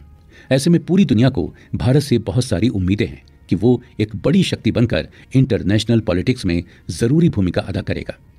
भारत के विदेश मंत्री एस जयशंकर ने इन्हीं बातों को ध्यान में रखकर द इंडिया वे नाम की ये किताब लिखी जो इस दौर में भारत के सामने खड़े चैलेंजेस और पॉसिबिलिटीज को सही ढंग से एड्रेस करती है। ये किताब न केवल भारत की शक्ति को, बल्कि भारत की ग्लोबल रिस्पॉन्सिबिलिटी को भी हमारे सामने रखती है। एस जयशंकर ने इतिहास और परंपरा के एक रिव्यू को इस किताब के माध्यम से हमारे सामने रखा है, जिसे समझकर हम आने वाले भविष्य के बारे में फैसला कर सकते हैं। इस किताब के माध्यम से हमने भारत की विदेश नीति के छह फेजेस के बारे में भी जाना। साल 1948 से उन्नीस सौ बासठ के बीच में नॉन अलाइनमेंट मूवमेंट के पहले फ़ेज़ के दौरान भारत से हुई भूलों और मिसकैलकुलेशन की वजह से चीन के साथ युद्ध में उठाने पड़े नुकसान से सबक लेने की शिक्षा हमने इस किताब से हासिल की है। फिर दूसरे फ़ेज़ के हार्ड पावर वाले भारत ने दुनिया में जो जगह बनाई थी, उसकी ज़रूरत हमें आज भी है। हमने देखा है कि कैसे बीते दौर में भारत दोनों महाशक्तियों से दूर रहकर अपने फैसले ले रहा था और आज के दौर में हमें दुनिया की हर शक्ति के साथ कदम मिलाकर चलने की ज़रूरत महसूस हो रही है। इसके बाद भारत में ग्लोबलाइजेशन ने कदम रखा और ओपन मार्केट इकोनॉमी के नाते भारत ने बहुत तरक्की भी की। मगर आज कोरोना के विश्व में कदम रखने के बाद दुनिया ग्लोबलाइजेशन के खिलाफ होकर अपने अपने नेशनल इंटरेस्ट को पूरा करने में लगी हुई है। ऐसे में भारत को भी आत्मनिर्भरता पर ज़ोर देकर अपने लोगों की भलाई के बारे में सोचना होगा। और साथ में इंटरनेशनल कम्युनिटी का सदस्य होने के नाते अपनी जिम्मेदारियों के लिए जागरूक भी रहना होगा। लेखक एस जयशंकर साल 2014 के बाद आए भारत की विदेश नीति में बदलाव को बहुत गहराई से समझाते हैं। साथ ही साल 2014 के बाद भारत की विदेश नीति को तय करने में खुद लेखक का भी बड़ा योगदान रहा है। इसलिए किताब का वो हिस्सा इस किताब की आत्मा साबित होता है, जिसमें लेखक साल 2014 से 2020 तक भारत की विदेश नीति को समझाने की कोशिश करते हैं। आज भारत न केवल अलग अलग इंटरनेशनल ऑर्गेनाइजेशंस में अपने पक्ष में माहौल तैयार कर पा रहा है, बल्कि साउथ ईस्ट और अफ्रीका के कई देशों की नज़र में भारत उम्मीद की किरण की तरह वर्ल्ड ऑर्डर में भी चमक रहा है। आज दुनिया पूरी तरह मल्टीपोलर हो चुकी है और इसके साथ ही मल्टीलेटरलिज्म का जमाना भी बीते दौर की बात हो गया है। ऐसे में भारत को अपने क्षेत्र में न केवल पकड़ मज़बूत करने की ज़रूरत है, बल्कि पूरे ग्लोबल साउथ का नेतृत्व करने की ज़िम्मेदारी भी आज हमारे देश के कंधों पर आ पड़ी है। इंटरनेशनल सोलर अलायंस और सागर सिद्धांत का निर्माण करके भारत ने न केवल इस ज़िम्मेदारी को पूरा करने की कोशिश की है, बल्कि अपने नेशनल इंटरेस्ट को भी लगातार ध्यान में रखकर बहुत सोच समझकर आगे कदम बढ़ाए हैं। साल 1946 से लेकर 2020 की कोविड 19 महामारी तक के इस पूरे ब्यौरे को जानना अपने आप में एक बहुत रोमांचक सफ़र कैसा महसूस होता है? और किसी लाजवाब किताब के यही गुण है कि वो आपको अपने साथ एक यात्रा पर ले जाए और उस दौरान न केवल आपका इंटरटेनमेंट हो, बल्कि आप ज्ञान भी हासिल कर पाएँ। वीडियो को अंत तक देखने के लिए बहुत बहुत धन्यवाद। अपना बहुमूल्य फीडबैक कमेंट बॉक्स में ज़रूर शेयर करें।